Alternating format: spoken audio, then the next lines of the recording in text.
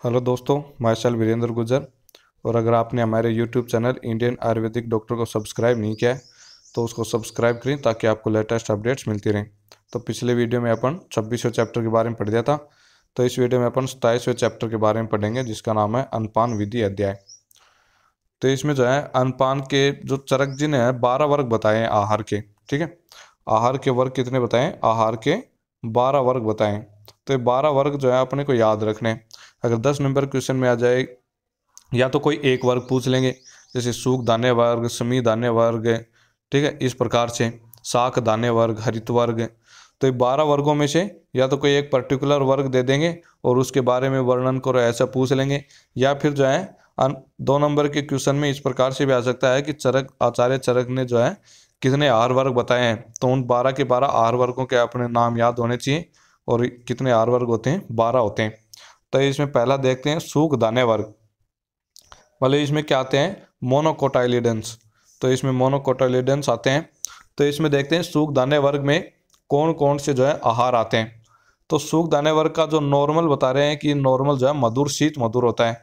मतलब इसका रस मधुर होता है, वीर्य शीत होता है और विपाक क्या होता है? मधुर होता है। तो मधुर शीत मधुर, कौन से? सूख दाने वर्ग। अब इसके गुण बता रहा है। ये नॉर्मल बता रहा है। आगे जो है एक पर्टिकुलर आहार के बारे में अपन पढ़ेंगे लेकिन अभी ये सूख दाने वर्ग का नॉर्मल बता रहा है कि नॉर्मल जो है मधुर रस होता है शीतवीर्य होता है और मधुर विपाक होता है। और इसके गुण कैसे होते हैं? स्निग्ध होएगा। अब मधुर शीत मधुर है तो मधुर शीत मधुर मतलब कफ टाइप के मिलेंगे है ना? स्निग्ध होएगा मूत्रवर्धक होएगा मूत्र को वर्द वर, ये मूत्र की वृद्धि करता है शुक्र वर्धक शुक्र की वृद्धि करने वाले होते हैं भ्रंगण होते हैं अल्पवात वर्धक और हल्की सी जो अल्पवात वर्धक होते हैं, ठीक है? फिर बंधे हुए मल को अल्प मात्रा में निकालते हैं और ये मल को कैसे? अल्प मात्रा में निकालते हैं। और कौन से मल को? बंधे हुए मल को। द्रव रूप में नहीं निकालते, ये बंधे हुए मल को अल्प मात्रा में निकालते हैं। तो इस प्रकार से सूख धान्य वर्ग के गुण हो गए। तो इसके ये रस वीर्य विपाक हो गए और यहाँ पे गुण हो गए। तो अब सूख दाने कहा किसको जाता है? तो देखना, जिस दानों में सूख होता है, उसे क्या कहा जाता है? सूख दाने कहा जाता है। जैसे अपन गेहूँ वगैरह में देखा होगा ना, गेहूँ की बाली होती है तो उनके ऊपर जो है एक पतला सा निडल टाइप के वो निकले रहते हैं तो उनको कहते हैं सूख। तो जिन दाने में सूख लगा होता है, सूख होता है, उनको क्या कहते हैं? सूख दाने कहा जाता है। अब इसमें यहाँ जो है, इनके उदाहरण दे रखे हैं एग्ज़ाम्पल दे रखे हैं सूख दाने वर्ग के। तो इसमें जो अपन नीचे देख लेते हैं इनके पर्टिकुलर के बारे में। तो पहला देखते हैं रक्तशाली दाने। तो सूख दाने वर्ग में रक्तशाली दाने आता है। इसके एग्ज़ाम्पल भी याद करें और जो एग्ज़ाम्पल हैं, जैसे कि रक्तशाली दाने तो इसके गुण क्या होते हैं वो भी अपने को याद रखने ठीक है? तो इसमें देखना रक्तशाली रक्तशाली रस तेसाम, तृष्णा गन, त्रिमल अप है त्रिमलाप है तो इसमें क्या होता है रक्तशाली धान्य जो है, सभी धान्यों में क्या होता है, श्रेष्ठ होता है। मतलब जितने भी धान्य हैं, उनमें क्या होता है, श्रेष्ठ होता है रक्तशाली धान्य। ये क्या होता है, तृष्णागन, तृष्णानाशक होता है, त्रिमल अप है तो त्रिदोष सामक होता है। तो ये रक्तशाली धान्य के गुण हो गए कि सभी धान्य में श्रेष्ठ होता है, तृष्णानाशक होता है और त्रिदोष सामक होता है। अब इसमें आगे देखते हैं षष्टिक दाने तो षष्टिक दाने इसका दूसरा एग्ज़ाम्पल है सूख दाने का। तो इसमें जो है, इसके गुण बता रखे हैं। यहाँ पे कोटेशन लिख रखा है, सीता स्निग्धो एग्रु स्वादु त्रिदोष गणय स्थिरात्मक है, षष्ठी पर्वसे गौर कृष्ण गौर, ठीक है, कृष्ण गौरस तथो अनुचय तो इस प्रकार से ये षष्टिक दाने के क्या लिख रखे गुण लिख रखे तो ये कह रहा है कि षष्टिक दाने जो है, शीत शीत वीर्य होता है, स्निग्ध होता है, ठीक है एग्रु एग्रु मतलब गुरु न होना मतलब लघु होना तो ठीक है, लघु होता है फिर स्वादु मधुर होता है त्रिदोष गण त्रिदोष सामक होता है और स्थिर आत्मा का शरीर में स्थिरता पैदा करता है। फिर ये यहाँ पे जो है गौर और कृष्ण, श्वेत और कृष्ण इसके दो प्रकार बता रहे हैं षष्टिक दाने के, ये षष्टिक दाने के प्रकार कितने होते हैं? दो होते हैं, श्वेत और कृष्ण। और इनमें श्रेष्ठ कौन होता है? श्वेत जो षष्टिक दाने होता है वो श्रेष्ठ होता है कृष्ण की बजाय। फिर जो है, ग्रीष्म में तो ये षष्टिक दाने क्या करते हैं? बो दिए जाते हैं, ठीक है? ग्रीष्म में षष्टिक दाने बोया जाता सॉरी हाँ ग्रीष्म में बोया जाता है और ग्रीष्म में, ये मैंने थोड़ा उल्टा लिख दिया, एक मिनट में इसको देख के बताता हूँ। हाँ यहाँ पे जो है, ये ग्रीष्म ऋतु में बोया जाता है और यहाँ पे ग्रीष्म मत करना, ग्रीष्म के बजाय वर्षा आएगी, ठीक है? वर्षा। तो वर्षा में क्या हो जाता है? तैयार हो जाता है। मतलब इसको पकने में जो है साठ दिन लगते हैं। तो साठ दिन में, इसलिए तो इसने षष्टिक नाम रखा है षष्टी षष्टी मतलब साठ। तो साठ दिन में क्या हो जाता है? पक जाता है। तो इस प्रकार से ये इसके गुण दे रखे हैं कि शीतवीर होता है, स्निग्ध, लघु, मधुर त्रिदोषामक होता है, शरीर में स्थिरता पैदा करता है। फिर षष्टिक दाने जो है दो प्रकार के होते हैं, श्वेत किरसन, इसमें श्वेत श्रेष्ठ होता है किरसन की बजाय। फिर ये ग्रीष्म में बोया जाता है, वर्षा ऋतु में तैयार हो जाता है और साठ दिन में ये पक जाता है। फिर अगला सूख दाने देखते हैं, ब्रीही दाने। ब्रीही दाने का गुण देखते हैं, मधुर रस, इसका रस मधुर होता है, अमल विपाक होता है पित्त जनक तो अमल विपाक होता है तो इसलिए क्या करता है, पित्त का जनक करता है मतलब पित्त को बढ़ाता है और ये गुरु होता है। ठीक है? तो मधुर रस होने से गुरु हो गया और अमल विपाक होने से पित्त का जनन करने वाला हो गया। तो ये ब्रीही दाने हो गए। फिर आगे देखते हैं, पाटल दाने। तो पाटल दाने में देखना, त्रिदोष को कुपित करने वाला। तो पाटल दाने के होते हैं कि वात पित्त कब को क्या करते हैं? कुपित करते हैं, ठीक है? त्रिदोष कुपित करते हैं। फिर मूत्र प्रिस को बढ़ाने वाला। और ये मूत्र प्रिस को क्या करता है? वृद्धि करता है शरीर में। तो इस प्रकार से ये पाटल दाने के गुण हो गए। अब नेक्स्ट देखते हैं जौ के गुण। तो जौ के गुण में क्या आएगा? कि जो है मधुर रस होता है शीत वीर्य होता है और विपाक कैसा होता है? कटु। तो इसके रस वीर्य विपाक याद रखना। मधुर, शीत और कटु, ठीक है? इसको इस प्रकार से याद रख सकते हैं। मधुर, फिर शीत लिख दिया और फिर आगे कटु। तो इस तरह से फ्लो में याद रखना है। तो मधुर रस, शीत वीर्य, कटु विपाक। फिर ये क्या होता है? लघु होता है। मल को बढ़ाने वाला मलमल की वृद्धि करता है और कफ विकार नाशक होता है। मतलब कफ का क्या करता है? समन करता है। तो इस प्रकार से ये जो के गुण हो गए। फिर आगे देखते हैं गेहूँ। तो गेहूँ के गुण क्या होंगे? संदान करने वाला। मतलब ये संदान करता है। ठीक है? जोड़ता है। मतलब कोई अस्थियाँ बगन वगैरह हो गए तो इनको जोड़ने का काम करता है। इसमें देखते हैं अपन खाते हैं ना गेहूँ तो गेहूँ में आप ज़्यादा देर तक चबा लेते हैं तो ग्लूटीन निकलता है मतलब चिंगम जैसा लगने लग जाता है। तो मतलब उसको ऐसे समझना है कि ग्लू टाइप का काम करता है ना। तो मतलब ये ऐसे याद रखने की ट्रिक है। तो इसमें क्या हो गया, ये संदान करने वाला तो इसको जो है संदान करने वाला बताया गया है, जो गेहूँ को। फिर ये वात सामक होता है, क्यों?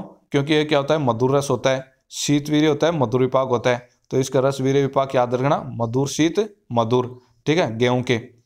फिर जीवनीय जीवन को देने वाला होता है, स्निग्ध होता है, गुरु होता है ब्रंगणी होता है और वरस्य होता है। तो इस प्रकार ये गेहूँ के गुण हो गए। तो ये अपन ने जो है अभी सूख दाने देख लिए। सूख दाने के कौन कौन से एग्ज़ाम्पल है, ये याद रखने हैं। और एग्ज़ाम्पल के जो है, जैसे गेहूँ हो गया, जो हो गया, पाटल दाने तो इनके गुण याद रखने तो अपने को पूछा जाए कि सूख दाने वर्ग तो ये जो मैंने लिख रखे हैं सूख दाने वर्ग में, ये सारी की सारी चीज़ें ऐसे ही लिख के आनी। फिर नेक्स्ट देखते हैं समी दाने वर्ग। तो दूसरा वर्ग है समी दाने वर्ग। तो इसमें देखना नॉर्मल इसका बता रहा है, ठीक है? पर हर एक का पर्टिकुलर तो अपन नीचे देखेंगे। तो पहले नॉर्मली बता रहा है कि मधुर कसाय रस। तो इसका समी दाने जो होते हैं, उनका रस कैसा होता है? मधुर और कसाय। ये रुक्स होते हैं, कटु विपाक होता है इनका। मलमूत्र को बांधते हैं। मतलब ये संग्राही होते हैं, मलमूत्र को बांधने वाले होते हैं, ठीक है? वेदन नहीं करते हैं, बांधते हैं। तो इस प्रकार से समीर दाने के नॉर्मल गुण हो गए कि मधुर कसाय रस, रुक्स होता है, इसका विपाक कटु होता है और मलमूत्र को बांधते हैं। फिर आगे देखता है मुदक। तो समीर दाने में क्या आती हैं? ये दाल वाली चीज़ें हैं ना, वो ज़्यादा आती हैं समीर दाने में। तो जितनी भी दाल है वो यहाँ पे आएँगी। मुदक मुदक बोलते हैं मूंग को। तो मूंग की दाल। तो यहाँ पे देखना, ये कसाय मधुर ठीक है? शीतवीर्य और कटु विपाक। तो इसका मूंग की दाल का क्या होता है? रस तो होता है, मधुर कसाय कसाय मधुर होता है, ठीक है? वीर्य क्या होता है? शीत। और विपाक कैसा होता है? कटु विपाक होता है। और ये मूंग की दाल जो है, दालों में क्या होती है? सबसे उत्तम होती है। फिर इसके गुण देखना। रुक्स होती है, लघु होती है विशद होती है और कप पित्त क्या होती है? सामक होती है। तो इस प्रकार से ये मूंग के गुण दे रखे हैं। कि मत कसाय मधुर रस शीतवीर्य कटु विपाक, दालों में सबसे उत्तम रुक्ष लघु विषद और कपित सामक। अब आगे देखते हैं मांस मतलब मांस को क्या बोलते हैं? उड़द उड़द की दाल होती है वो, ठीक है? तो ये क्या होती है? मधुर रस, इसका रस जो है मधुर होता है। उष्ण वीर्य वाली होती है, गुरु होती है, मलमूत्र बढ़ाने वाली मतलब मलमूत्र की वृद्धि करती है और बल्य होती है, शरीर को क्या करती है? बल प्रदान करती है। तो ये किसके गुण हो गए?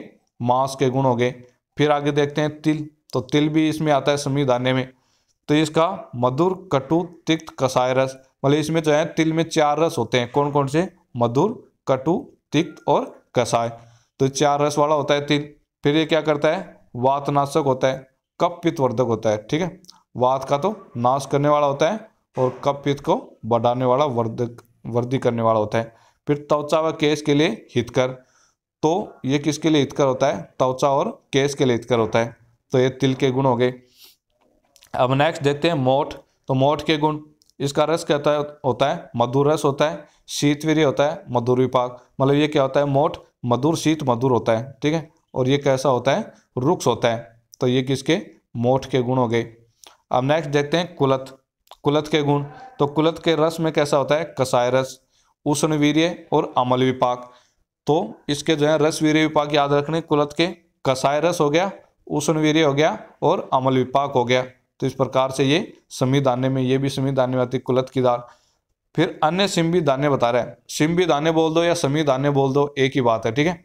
तो अन्य सिम्बी दाने कह रहे हैं कि मधुर, शीतल, गुरु और बलनाशक होते हैं। मतलब ये जो अभी अपन ने एग्ज़ाम्पल दिए हैं, इनके अलावा कह रहा है कि जो भी सिम्बी दाने होते हैं, वो क्या होते हैं? मधुर होते हैं, शीतल होते हैं मतलब शीतवीर वाले होते हैं, गुरु होते हैं और बलनाशक होते हैं, बल का नाश करने वाले होते हैं। तो शरीर में रुक्षता कारक बलवान पुरुष को इनको घी के साथ खाना चाहिए।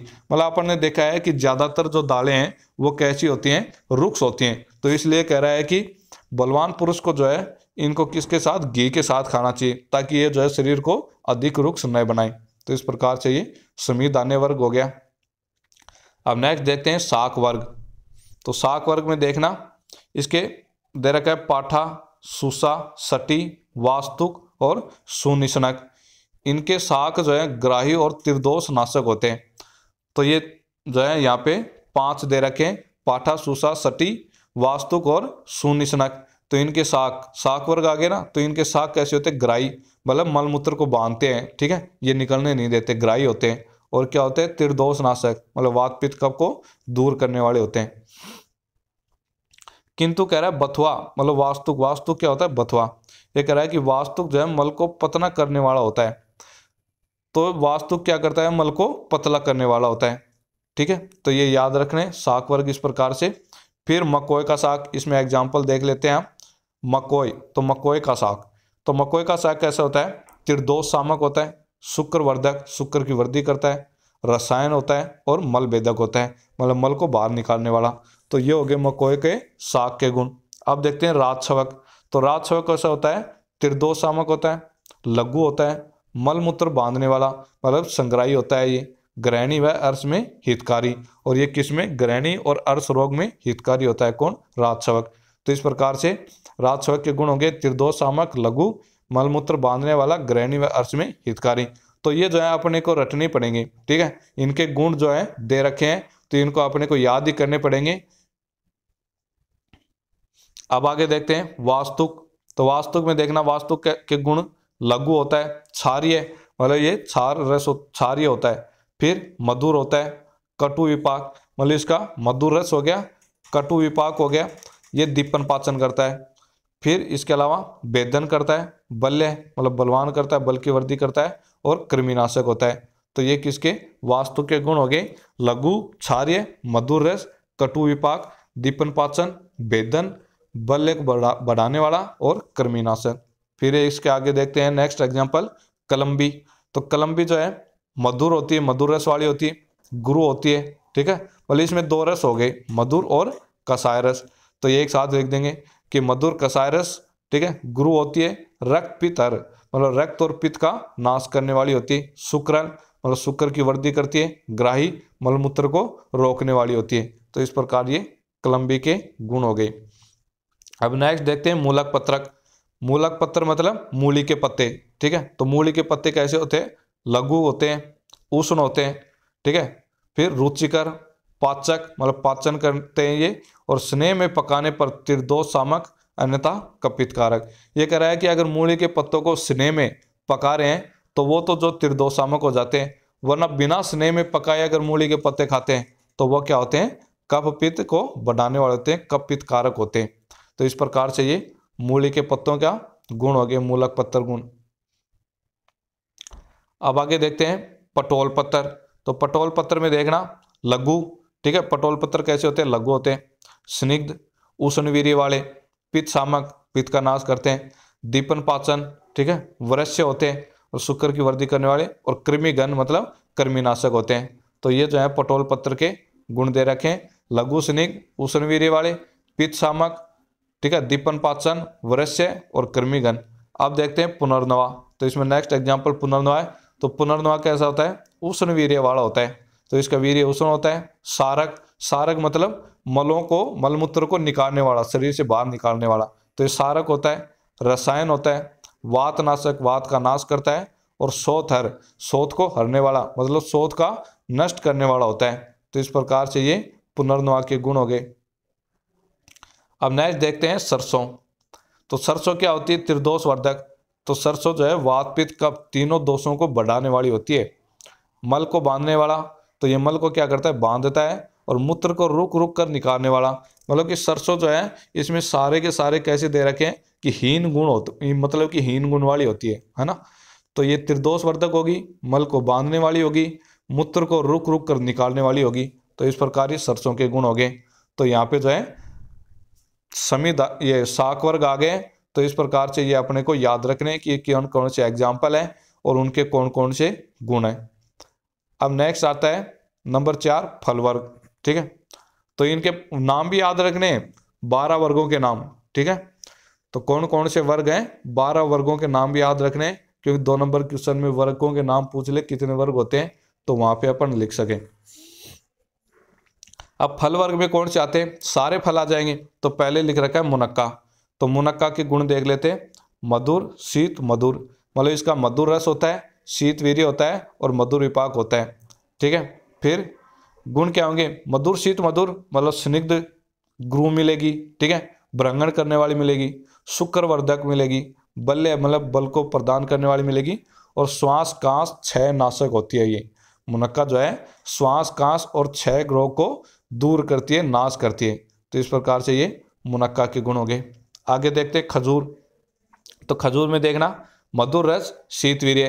तो खजूर का जो होता है, रस तो मधुर होता है और वीर्य कैसा होता है, शीत वीर्य होता है। तो ठीक है? फिर ये मांस बढ़ाने वाला, मांस की वृद्धि करता है, शुक्रवर्धक होता है, गुरु होता है, ठीक है? अंतर्दा होने पर हितकर। मतलब अंतर्दा, शरीर में जो है, आंतरिक दाह हो रहा है तो उसमें क्या होता है, खजूर हितकर होता है, लाभ करने वाला होता है। फिर वातपित सामक ये वात पित्त को समन करता है। तो इस प्रकार से ये खजूर के गुण हो गए। फिर आगे देखते हैं आमरातक ठीक है? मतलब आम के गुण।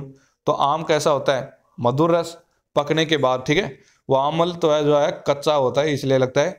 तो आमरातक आम जो है, मधुर रस वाला होता है। मांस वर्धक होता है, मांस को बढ़ाने वाला गुरु होता है। स्नेह युक्त होता है कफ वर्धक होता है, ठीक है? और शीत वीर्य वाला होता है श्रेष्ठ विनमूत्र मतलब मलमूत्र को क्या करता है? निकालने वाला होता है। तो इस प्रकार से यहाँ पे आमरातक के गुण दे रखे मधुर रस, शीतवीर्य, मांसवर्धक, ठीक है? गुरु, स्नेहयुक्त, कफवर्धक और श्रेष्ठ विनमूत्र फिर आगे देखते हैं पुरुषक। तो पुरुषक के गुण देखते हैं। तो पुरुष में देखना कप पित्त को दूषित करने वाला। तो ये क्या करता है? कप पित्त को दूषित करता है पुरुषक। अब नेक्स्ट देखते हैं पारावत। तो पारावत जो है किसको बोलते हैं? अमरूद को। तो अमरूद जो है दो टाइप के होते हैं। पारावत दो टाइप के होते हैं। कौन कौन से? मधुर और अम्ल। जैसे अपन ने देखा था ना अभी, तिल, श्वेत और कृष्ण दो प्रकार के, ठीक है?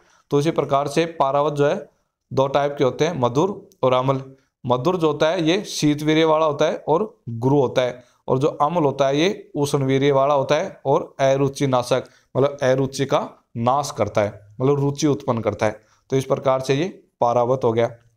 फिर नेक्स्ट देखते हैं गांबारी। तो गांबारी में देखना, इसका रस कैसा होता है? मधुर, अम्ल और कसाय मतलब तीन रस वाली होती है गांबारी। गांबारी के रस याद रखना, तीन रस वाली होती है मधुर, अम्ल और कसाय इसका वीर्य कैसा होता है? शीत वीर्य। ये गुरु होती है, कब्ज करने वाली होती है और कप पित्त को बढ़ाने वाली। अगर इस प्रकार से एरो मिले तो इसका मतलब बढ़ाने वाली और अगर नीचे इस प्रकार से एरो मिले तो इसका मतलब है उसको नाश करने वाली या नष्ट करने वाली, कम करने वाली। तो ये क्या करती है? गंबारी जो है, कपित को वर्धक होती है, कपित वर्धक होती है। फिर ये इस प्रकार से गंबारी के गुण हो गए। अब देखते हैं एपिकुबल बिल्व। तो दो प्रकार के बिल प्रयोग में होते हैं, एक तो एपको और एक पक्को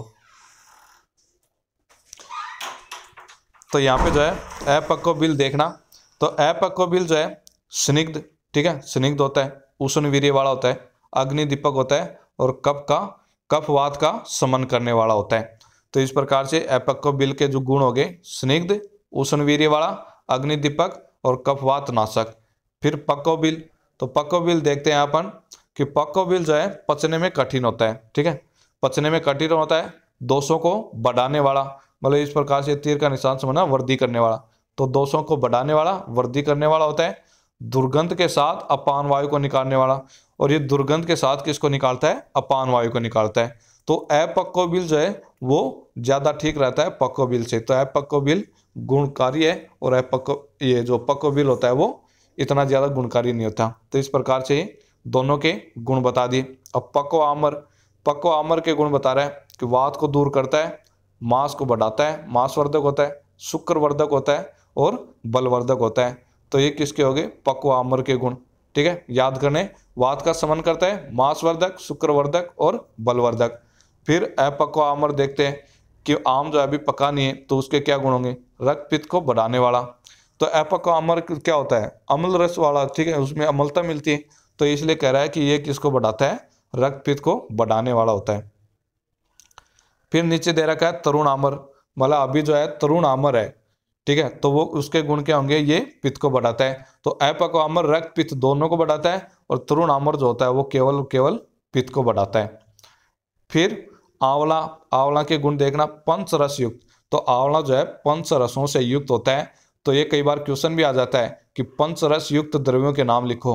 तो पंच रस युक्त द्रव्य के एक तो क्या हो गया? आंवला हो गया। ठीक है? तो इसके अलावा एक और होता है हरित की, है ना? तो पहले तो यही याद रखते हैं। कि जो है आंवला जो है क्या होता है? पंचरस युक्त होता है। बोले इसमें जो एक जो रस है वो वर्जित होता है और कौन सा? लवण। तो इसमें लवण रस नहीं मिलता, बाकी पाँचों के पाँचों रस जो आंवला में मिलते हैं। और ये कौन, इसमें प्रधान, पाँच सौ रस तो मिलते हैं, लेकिन उसमें प्रधान रस कौन होता है? अम्ल जो है वो प्रधान रस होता है। तो अम्ल प्रधान रस होता है, ये रुक्ष होता है, मधुर होता है। ठीक है, ये मधुर, कसाय अम्ल, ये तो इसके रस ही दे दिया और रस पहले ही बता दिए कि पंचरस युक्त होता है। मतलब पाँच रस मिलते हैं और अम्ल, जो लवण जो है इसमें रस नहीं मिलता है और अम्ल रस प्रदान होता है, रुक्स होता है और कप पित्त नाशक होता है, ठीक है? कप पित्त का नाश करने वाला होता है। अब नेक्स्ट देखते हैं विभितक। तो विभितक में देखना कसाय रस, उष्ण वीर्य, कटु विपाक। मतलब विभितक का कसाय रस वाला होता है, इसका वीर्य उष्ण होता है और विपाक कैसा होता है? कटु होता है। तो इसके अलावा और गुण दे रखे लघु, रुक्स, ठीक है? रस रक्त मांस मेद की विकृति से होने वाले रोगों को दूर करता है। मतलब कि रस, रक्त, मांस और मेद, इनमें अगर विकृति हो जाती है और उस विकृति के कारण जो रोग उत्पन्न होते हैं तो उन रोगों को क्या करता है? ये दूर करता है। तो इस प्रकार से ये विविधक के गुण बता दिए कि कसाय कसाय उष्ण कटु, लघु रुक्ष और रक्त, रस, रक्त मांस मेद की विकृति से होने वाले रोग को दूर करता है। तो इस प्रकार से ये जो है यहाँ पे फल वर्ग समाप्त हो गया है। इसके एग्ज़ाम्पल याद रखने और एग्जाम्पलों के जो है अपने को गुण याद रखने। अब नेक्स्ट पाँच नंबर वर्ग आता है, हरित वर्ग। तो हरित वर्ग में कौन कौन से एग्ज़ाम्पल आते हैं देख लेते हैं। तो इसमें देखना अदरक, ठीक है? तो अदरक जो है हरित वर्ग में आती, भोजन। तो इसके गुण देखते हैं अदरक के। भोजन में रुचि उत्पन्न करता है, अग्निवर्धक होता है, वीर्यवर्धक होता है कफवात से होने वाले विबंध को दूर करता है। तो अदरक क्या करेगी? भोजन में रुचि उत्पन्न करती है अदरक। अग्नि को बढ़ाने वाली होती है वीर्य को बढ़ाने वाली होती है, और कफवात से जो विबंध होता है ना, कफवात रोग, कफवात के दूषित होने के कारण, प्रकोपित होने के कारण जो विबंध होता है कॉन्स्टिपेशन होता है, उसको क्या करती है? दूर करती है। तो इस प्रकार से अदरक के गुण हो गए। अब आगे देखते हैं जम्बीर तो जम्बीर के गुण देखता रुचिकारक होती है, अग्निदीपक होती है, तीक्ष्ण होती है, सुगंधित होती है, कफवात का नाश करने वाली होती है और कर्मीगण मतलब कर्मी को नष्ट करने वाली होती है। तो इस प्रकार से ये जम्बीर के गुण हो गए। अब आगे देखते हैं, सुरस। सुरस किसको बोलते हैं? तुलसी। ठीक है? तो इसमें तुलसी के गुण देखना। हिचकी काश विश्विकार दमा पार्सरसूल इनको क्या करती है? दूर करने वाली होती है। मतलब कि इसमें रोग दे रखे, हिचकी काश विश्विकार दमा पार्सरसूल इनको तो क्या करती है? दूर करती है। पित्त को वृद्धि मतलब पित्त वर्धक होती है, कफवात का नाश करती है और दुर्गंध दूर करने वाली होती है। तो तुलसी किसका वर्धन करती है? पित्त का वर्धन करती है और कफवात का नाश करती है और दुर्गंध दूर करने वाली होती है। तो इस प्रकार से ये तुलसी के गुण बता दिए अब नेक्स्ट देखते हैं। तो यहाँ पे जो है दे रखे हैं, चार पाँच एक साथ दे रखे हैं। अजवाइन अर्जक, सईजन साले साले बोलते हैं सोप को और मरस्टक। मरस्टक किसको बोलते हैं? राई को। तो इन जो है, पाँचों के एक साथ गुण दे रखे हैं। तो इनके नाम याद रखना, अजवाइन, अर्जक, सईजन, साले और मरस्टक तो इनके गुण देखना, हृदय के लिए लाभकारी। तो ये पाँचों के पाँचों क्या होती है? हृदय के लिए लाभकारी होती है। स्वाद में उत्तम होती है और पित्त को बढ़ाने वाली होती है, पित्तवर्धक होती है। तो इस प्रकार से ये इनके गुण बता दिए। अब आगे देखते हैं, गंडीर, जल पीपली, तुम्बरू और सरंगबेरिका तो इन चारों के गुण देखना तीक्ष्ण होती हैं, वीर्य में उष्ण होती हैं कटुरस होता है रुक्स होती हैं और कफवात का समन करने वाली होती हैं। तो इस प्रकार से ये गंडीर, जल, पीपली, तुम्बरू सरंगबेरिका के गुण बता दिए गए हैं। तो गुण ये जो है, याद रखने। फिर नेक्स्ट देखते हैं, ग्रंजक। ग्रंजक किसको बोलते हैं? ग्रंजनक गाजर को बोलते हैं। तो अब गाजर के गुण देखना, मल को बांधने वाला। तो ये क्या करती है? मल को बांधती है मतलब संग्राही करती है। ठीक है? तीक्ष्ण तीक्ष्ण होती है गाजर। वात, कफ, अर्श रोगियों के लिए हितकारी। मतलब वात और कफ, ठीक है, और अर्श के रोगी। इनके रोगियों के लिए क्या होती है? हितकारी होती है। तो इस प्रकार से ये गाजर के गुण बता दिए। फिर नेक्स्ट देखते हैं पलांडू। पलांडू बोलते हैं प्याज को। तो आप प्याज के गुण देख लेते हैं। प्याज के कौन कौन से गुणों वाला होता है? तो प्याज देखना कफ वर्धक वातनाशक। तो ये प्याज क्या होती है? कफ को तो बढ़ाती है और वात का क्या करती है? नाश करती है। बल वर्धक बल को बढ़ाने वाली होती है गुरु होती है शुक्र वर्धक होती है, ठीक है? भोजन में रुचि उत्पन्न करने वाला। तो भोजन में क्या करती है ये? रुचि उत्पन्न करती है। तो इस प्रकार से ये प्याज के गुण बता दिए। अब आगे देखते हैं लहसुन। लहसुन मतलब लहसुन लहसुन। तो लहसन हो गया, ठीक है? अब इसके गुण देखते हैं। कृमि रोग, कुष्ठ, किलास, वात विकार और गुरुम रोग नाशक। तो ये इन इन रोगों को क्या करती है? नष्ट करती है। भले इसमें देखना कि ये तवक विकार दे रखे हैं तीन चार, है ना? कृमि रोग हो गया, कुष्ठ, किलास, ये क्या है? तवक विकार है। फिर इसके अलावा वात विकार और गुल्म रोग नाशक। मतलब वात का क्या करती है? समन करती है। तभी तो दे रखी वात विकार। गुल्म रोग में भी क्या होता है? वात प्रदान होता है तो वात विकार और गुल्म रोग नाशक होती है। लहसुन। फिर इसके स्निग्ध होती है उष्ण वीर्य वाली होती है शुक्र वर्धक होती है कटुरस होता है और गुरु होती है। तो इस प्रकार से ये लहसुन के गुण बता रखे हैं। तो यहाँ पे जो अपना हरित वर्ग समाप्त हो गया अब नेक्स्ट वर्ग है मांस वर्ग, छह नंबर। तो छह नंबर इसमें मांस बताए गए कि मांस के क्या क्या गुण होते हैं। अलग अलग जो है पशुओं के, मांसों के कौन से गुण है वो बताएँ। तो अब इसमें देखना, ये नॉर्मल बता रहा है कि नॉर्मल जो है मांस वर्ग का रस कैसा होता है क्या क्या गुण होते हैं। तो मधुर रस, मधुर विपाक होता है। तो नॉर्मल जो है मांस क्या होता है? मधुर रस वाला होता है। मधुर विपाक वाला होता है, गुरु होता है, हृदय मतलब हृदय को प्रिय लगने वाला होता है ब्रंगण मतलब वर्दी करने वाला होता है, पुष्टिकारक होता है और बल्य होता है। तो इस प्रकार से मांस वर्ग के गुण हो गए। जो मांस वर्ग जो है, दो प्रकार के होते हैं, ठीक है? एक तो जांगल और एक आनूप। तो मतलब जो जांगल जांगल प्रदेश में रहते हैं और एक आनूप मतलब जहाँ पे जल की अधिकता उस प्रदेश में रहते हैं तो दोनों के जो है, यहाँ पे गुण बताए गए हैं। तो जांगल और आनूप। तो ये दो बता दिए, स्थान के आधार पे मांस। तो जांगल के देखना, जांगल में जो जंतु रहते हैं जीव जंतु उनके मांस में क्या गुण मिलते हैं? मधुर कसाय रस। तो ये जांगल वाले कैसे होते हैं? उनमें कौन सा रस मिलता है? मधुर और कसाय रस वाले होते हैं। लघु होते हैं, रुक्ष होते हैं। तो जांगल में किसकी प्रधानता होती है? वात और पित्त की प्रधानता होती है है ना? तो मधुर कसाय हो गया, लघु, रुक्ष हो गए अग्नि दीपक अग्नि को वर्दी करने वाले और वात का समन करने वाले। तो इस प्रकार से ये जांगल के क्या दे रखे हैं? गुण दे रखे हैं। अब आनुप के जो है अपन गुण देख लेते हैं। मधुर रस, गुरु, स्निग्ध होते हैं। अग्नि का क्या करते हैं? ये इनमें क्या होती है? वात और कप की प्रधानता होती है। तो कप मतलब कप वाले देखने। मधुर होता है, गुरु होता है, स्निग्ध होता है। अग्नि का क्या करता है? नाश करता है मतलब अग्निमंद करता है। अभिसंधि ठीक है? अभिसंधि होता है और कफ को क्या करता है? बढ़ाता है। तो इस प्रकार से ये अनुपमास के एग्ज़ाम ये जो है गुण हो गए। आप देखते हैं, चरक जी ने जो है आठ वर्ग बताए मास में। मास में कितने वर्ग बताए? आठ वर्ग। तो आठ वर्ग देख लेते हैं कौन कौन से हैं। परस परसह भूष्य वारिष्य जलेचर, जांगल, विस्कर, प्रदूत और आनु। तो इस प्रकार से ये आठ वर्ग बताए हैं मास वर्ग में। तो अब इनके बारे में जो है, इनके गुण देख लेते हैं, इसके एग्ज़ाम्पल देख लेते हैं। कि कौन कौन से होते हैं? तो परसय पहला नंबर परसय तो परसय किन को बोलते हैं? जो पक्षी दूसरे से आहार द्रव्य को बलपूर्वक छीन कर खा जाते हैं। मतलब कि ये क्या करते हैं? कि जब कोई दूसरा जो है आहार द्रव्य खा रहा है तो उनसे क्या होता है कि बलपूर्वक छीन कर खा जाते हैं। ठीक है? तो इसमें जो है ये पक्षी मत करना, है ना? पक्षी नहीं है या जंतु दे रखे हैं सारे। इसमें बस इतना ही लिखना है कि जो दूसरे से आहार द्रव्य को बलपूर्वक छीन कर खा जाते हैं तो वो क्या होते हैं? परसय होते हैं। तो परसय में कौन से हो गए?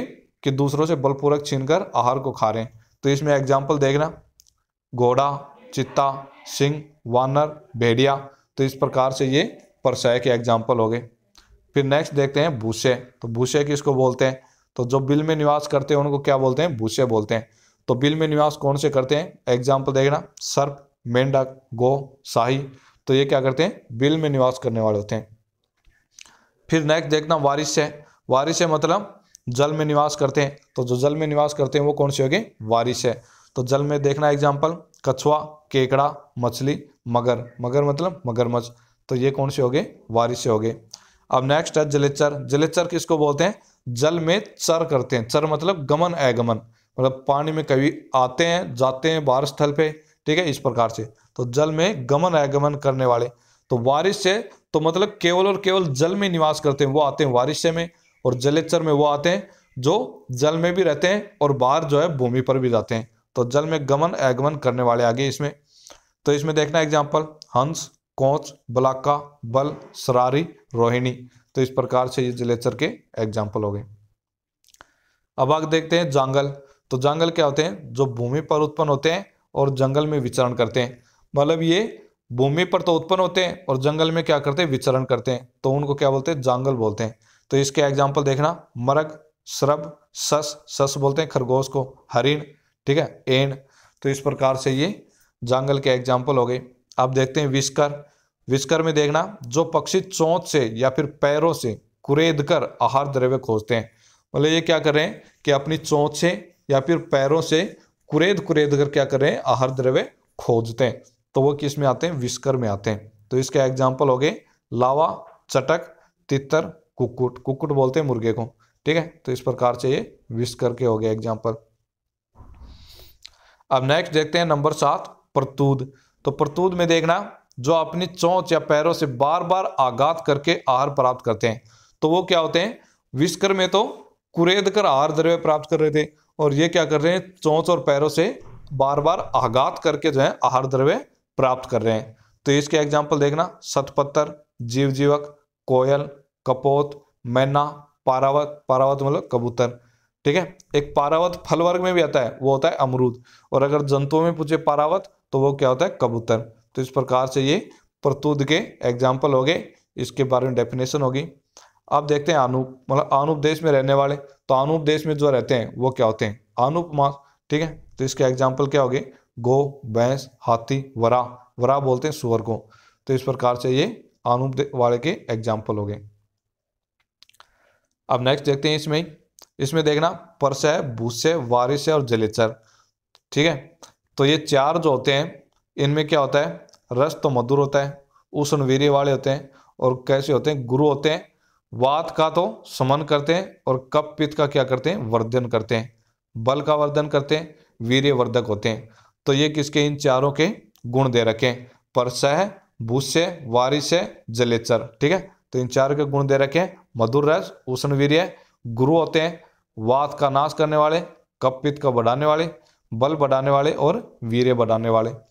अब विस्कर प्रतुत और जांगल, इनके बता रखा है। तो विस्कर प्रतुत, जांगल ये क्या होते हैं?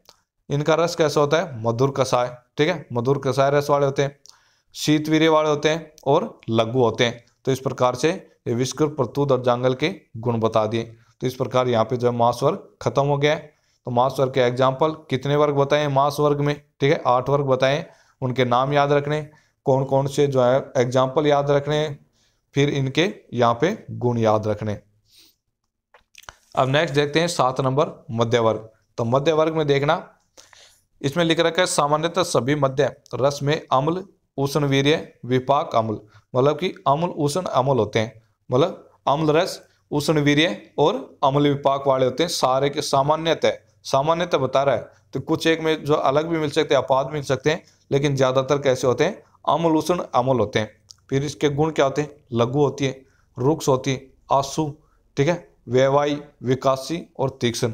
तो ये किसके होंगे? मध्य के गुण होंगे। लघु, रुक्ष, आँसू व्यवाई विकासी और तीक्ष्ण। अब नीचे जाए इसके क्रम बता रहे हैं, मध्य के। ये कह रहा है कि अगर युक्तिपूर्वक सेवन करते हैं तो कौन से क्रम होगा? और अगर अयुक्तिपूर्वक सेवन करते हैं तो मध्य के कैसे क्रम दिखाई देंगे? तो पहले युक्तिपूर्वक दिवाले देख लेते हैं कि अगर मध्य को युक्तिपूर्वक अपन विधि विधान के अनुसार सेवन करते हैं तो ये क्या होता है? जठराग्नि को बढ़ाने वाला होता है, दीपन होता है, रोचन मतलब रुचिकर होता है, श्रेष्ठ विणमूत्र मतलब विणमूत्र को निकालने वाला होता है, हृदय होता है, हृदय के लिए प्रिय। कृष को क्या बताता है? स्थूल बनाता है और स्थूल को क्रस बनाता है और अनिद्रा में हितकर होता है। तो इस प्रकार से ये जो है, युक्तिपूर्वक सेवन, अगर मध्य का सेवन कर रहे हैं तो उसके कर्म हो गए। तो याद रखने। फिर अगर अयुक्तिपूर्वक सेवन कर रहे हैं, बिना किसी विधि के जो है, अपन उसको मध्य को पी रहे हैं बहुत ज़्यादा मात्रा में तो वो किसके समान होता है? विष के समान होता है। तो याद रखने कि युक्तिपूर्वक सेवन करते हैं तो क्या कर्म करती है मध्य? और अयुक्तिपूर्वक सेवन करते हैं तो क्या कर्म करती है? फिर इसके आगे और देख लेते हैं। इसके गुण देख लेते हैं। ग्रहणी अर्शनाशक तो ग्रहणी और अर्श को नाश करने वाली होती मतलब ग्रहणी और अर्श रोगों को दूर करती है। रक्त क्षीण होने पर तथा दूध के क्षीण होने पर हितकर। मतलब रक्त क्षीण हो गया या फिर दूध स्तन्य क्षीण हो गया तो उसमें क्या होती है? ये हितकर होती है मध्य। फिर नेक्स्ट देखना, प्राय सभी नवीन मध्य तो जो भी नवीन मध्य होती है मतलब अभी जो है मध्य बनाई है, ठीक है, उसका फर्मेंटेशन किया ही है। तो सभी नवीन मध्य क्या होती है? गुरु होती है, वातपित कब? कुपित करने वाले होते हैं। कहते हैं ना कि दारू जितनी पुरानी हो, उतनी अच्छी होती है। तो वही बात है तो नवीन जो होती है, वो तो क्या होती है? गुरु होती है और वातपित कब? मतलब तीनों ही दोषों को क्या करती कुपित करती है।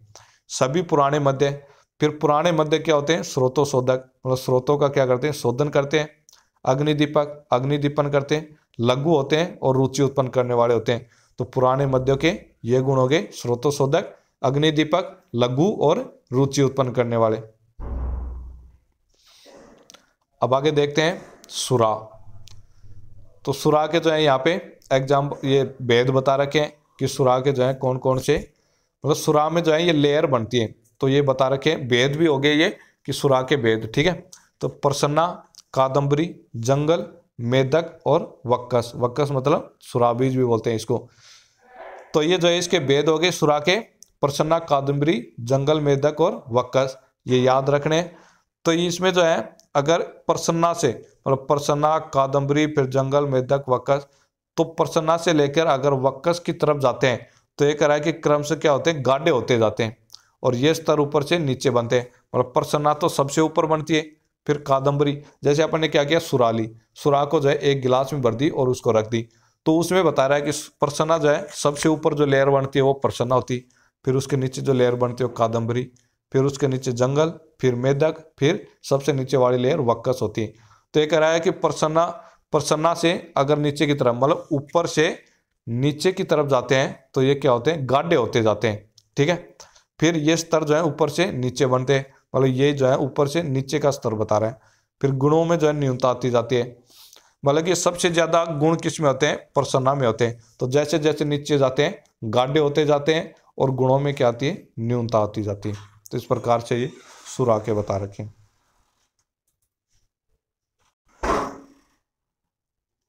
अब जब अपन आगे देखते हैं तो ये सुरा के देख लिया अपन ने। भेद कितने हैं? लेयर कितनी बनती है? गुण क्या है उसमें? अब नीचे देखते हैं मध्य। ठीक है? मध्य के जो है यहाँ पे भेद बता रखे हैं। तो इसमें सुरा वारुणी, सिद्धू, आसव, अरिष्ट। तो ये किसके बता रखे मध्य के। तो इसमें देखना सुरा। तो सुरा के गुण देखना। सुरा जो है सालिस सष्टिक चावल को पकाकर संदान करने के बाद बनती है। तो सुरा किससे बनाई जाती? साली या फिर सष्टिक चावल को पका के फिर उसका संदान मतलब फर्मेंटेशन करते हैं और फिर क्या होते हैं? सुरा बनती है। तो इस सुरा का याद रखना कि किससे बनाई जाती? साली सष्टिक चावल को पकाकर फिर संदान करने के बाद। अब इसके गुण बता रखे नीचे कि गुण क्या है सुरा के? कास अर्श ग्रहणी में हितकारी। मतलब ये क्या होती है? काश अर्श और ग्रहणी रोग में हितकारी होती है और वात का क्या करती है? समन करती है, वात को नाश करती है। फिर नेक्स्ट देखते हैं वारुणी। तो वारुणी का देखना, ताड़, खजूर, एक्सेट्रा के तने के अगर भाग पर चीरा लगाकर पात्र लगाने से प्राप्त। मतलब क्या करते हैं? ताड़ या फिर खजूर। इस प्रकार से जो पेड़ होते हैं, उनके तने पे क्या करते हैं? चीरा लगा देते हैं, ठीक है? तने के अगर भाग में चीरा लगा देते हैं और फिर वहाँ पे क्या करते हैं? पात्र लगा देते हैं। तो पात्र लगाने से क्या होती है कि वारुणी जो है उसमें पात्र में इकट्ठी हो जाती तो वारुण और वारुणी को जो है कौन से अंतर से निकालते हैं? वारुणी अंतर से निकालते हैं। तो इस प्रकार से ये वारुणी होगी। अब इसके गुण देख लेते हैं। लघु होती है, तीक्ष्ण होती है, हृदय मतलब हृदय को पीरे लगने वाली होती है। सूल का श्वास नाशक मतलब कि ये सूल, कांस और श्वास का क्या करती है? नाश करती है। तो ये होगी वारुणी। अब नेक्स्ट देखते हैं सिद्धू। इक्सु आदि मधुर द्रव्यों के संदान से निर्मित मतलब कि ईख मतलब गन्ने वगैरह आदि मधुर द्रव्य जो होते हैं, उनके फर्मेंटेशन से जो बनती है तो वो क्या होती है? सिद्धू होती है। तो इस प्रकार से ये सिद्धू होगी। अब देखते हैं आसव। अपक्को जल से निर्मित मतलब आसव और अरिष्ट में जो है डिफरेंस क्या होता है? कि आसव में तो जो है, अग्नि संयोग नहीं होता, और अरिष्ट में क्या होता है? अग्नि का संयोग करते हैं। मतलब आसव जो है अपक्को जल से निर्मित होती है और अरिष्ट क्या होते हैं? इसमें अग्नि का संयोग होता है। मतलब पक्को जल से क्या होती है? निर्मित होती है। और इसमें देखना कि कौन सी श्रेष्ठ होता है? आसव अरिष्ट में जो है, श्रेष्ठ कौन होता है? तो आसव जो है, श्रेष्ठ होता है अरिष्ट की बजाय। ठीक है? तो इस प्रकार से ये इसके मध्य हो गए, मध्य के भेद हो गए, इनके गुण हो गए। तो यहाँ पे जो है, मध्य वर्ग खत्म हो गया। अब नेक्स्ट वर्ग देखते हैं, जल वर्ग। तो जल वर्ग में देखना पर्याय। तो जल के पर्याय बता रखे पानी, नीर, अंबु, तोय, वारी। तो पर्याय याद रखने जल के जल के पर्याय हो गए। अब जल के गुण क्रम देख लेते हैं। तो जल कैसा होता है? श्रमर मतलब श्रम का नाश करने वाला, क्लांति क्लांति को नाश करता है। तृप्ति कारक, शरीर को क्या करता है? तृप्त करता है। मूर्छा, तंद्रा, निद्रा मूर्छा, तंद्रा और निद्रा का क्या करता है? नाश करता है। बल्ले मतलब बल को बढ़ाता है। हृदय मतलब हृदय को प्रिय लगने वाला होता है। शीत, लघु, स्वच्छ, अव्यक्त रस और अमृतुल्य मतलब कि जो आकाश से जल निकल, जो गिरता है ना आकाश से जल, वो क्या होता है? अव्यक्त रस वाला होता है। फिर रस तो उसमें तब व्यक्त होते हैं जब वो भूमि पर आकर भूमि के संपर्क में आता है या फिर और किसी द्रव्य के संपर्क में आता है। लेकिन जो शुद्ध जल जो होता है, वो क्या होता है? अव्यक्त रस वाला होता है। अमृतुल्य होता है, शीत होता है, लघु होता है और स्वच्छ होता है। तो इस प्रकार से ये जल के गुण बता दिए। अब नेक्स्ट देखते हैं प्रकार। तो यहाँ पे जो है आचार्य मतलब कोई आच, कोई आचार्य था उन्होंने जो है इसके प्रकार बताए। तो आचार्य ने कौन से प्रकार बताए? दो बताए ठीक है? एक तो दिव्य एक भौम। तो दो प्रकार बता दिए जल के तो दिव्य और भौम। फिर दिव्य के आगे चार भेद और कर दिए दार कार तोसार और हेम। फिर भौम जल के तीन प्रकार कर दिए जांगम आनुप और साधारण। तो इस प्रकार से ये कौन से ऋषि ने बताए कौन से आचार्य आचार्य का नाम नहीं बताया, बस इतने बताया कि किसी आचार्य ने जो है इसके दो वेद किए दिव्य भौम फिर दिव्य के चार वेद हो गए आगे, और भौम के जो आगे तीन वेद और कर दिए। अब नेक्स्ट देखते हैं, पहला धार मतलब आकाश से गिरता जल।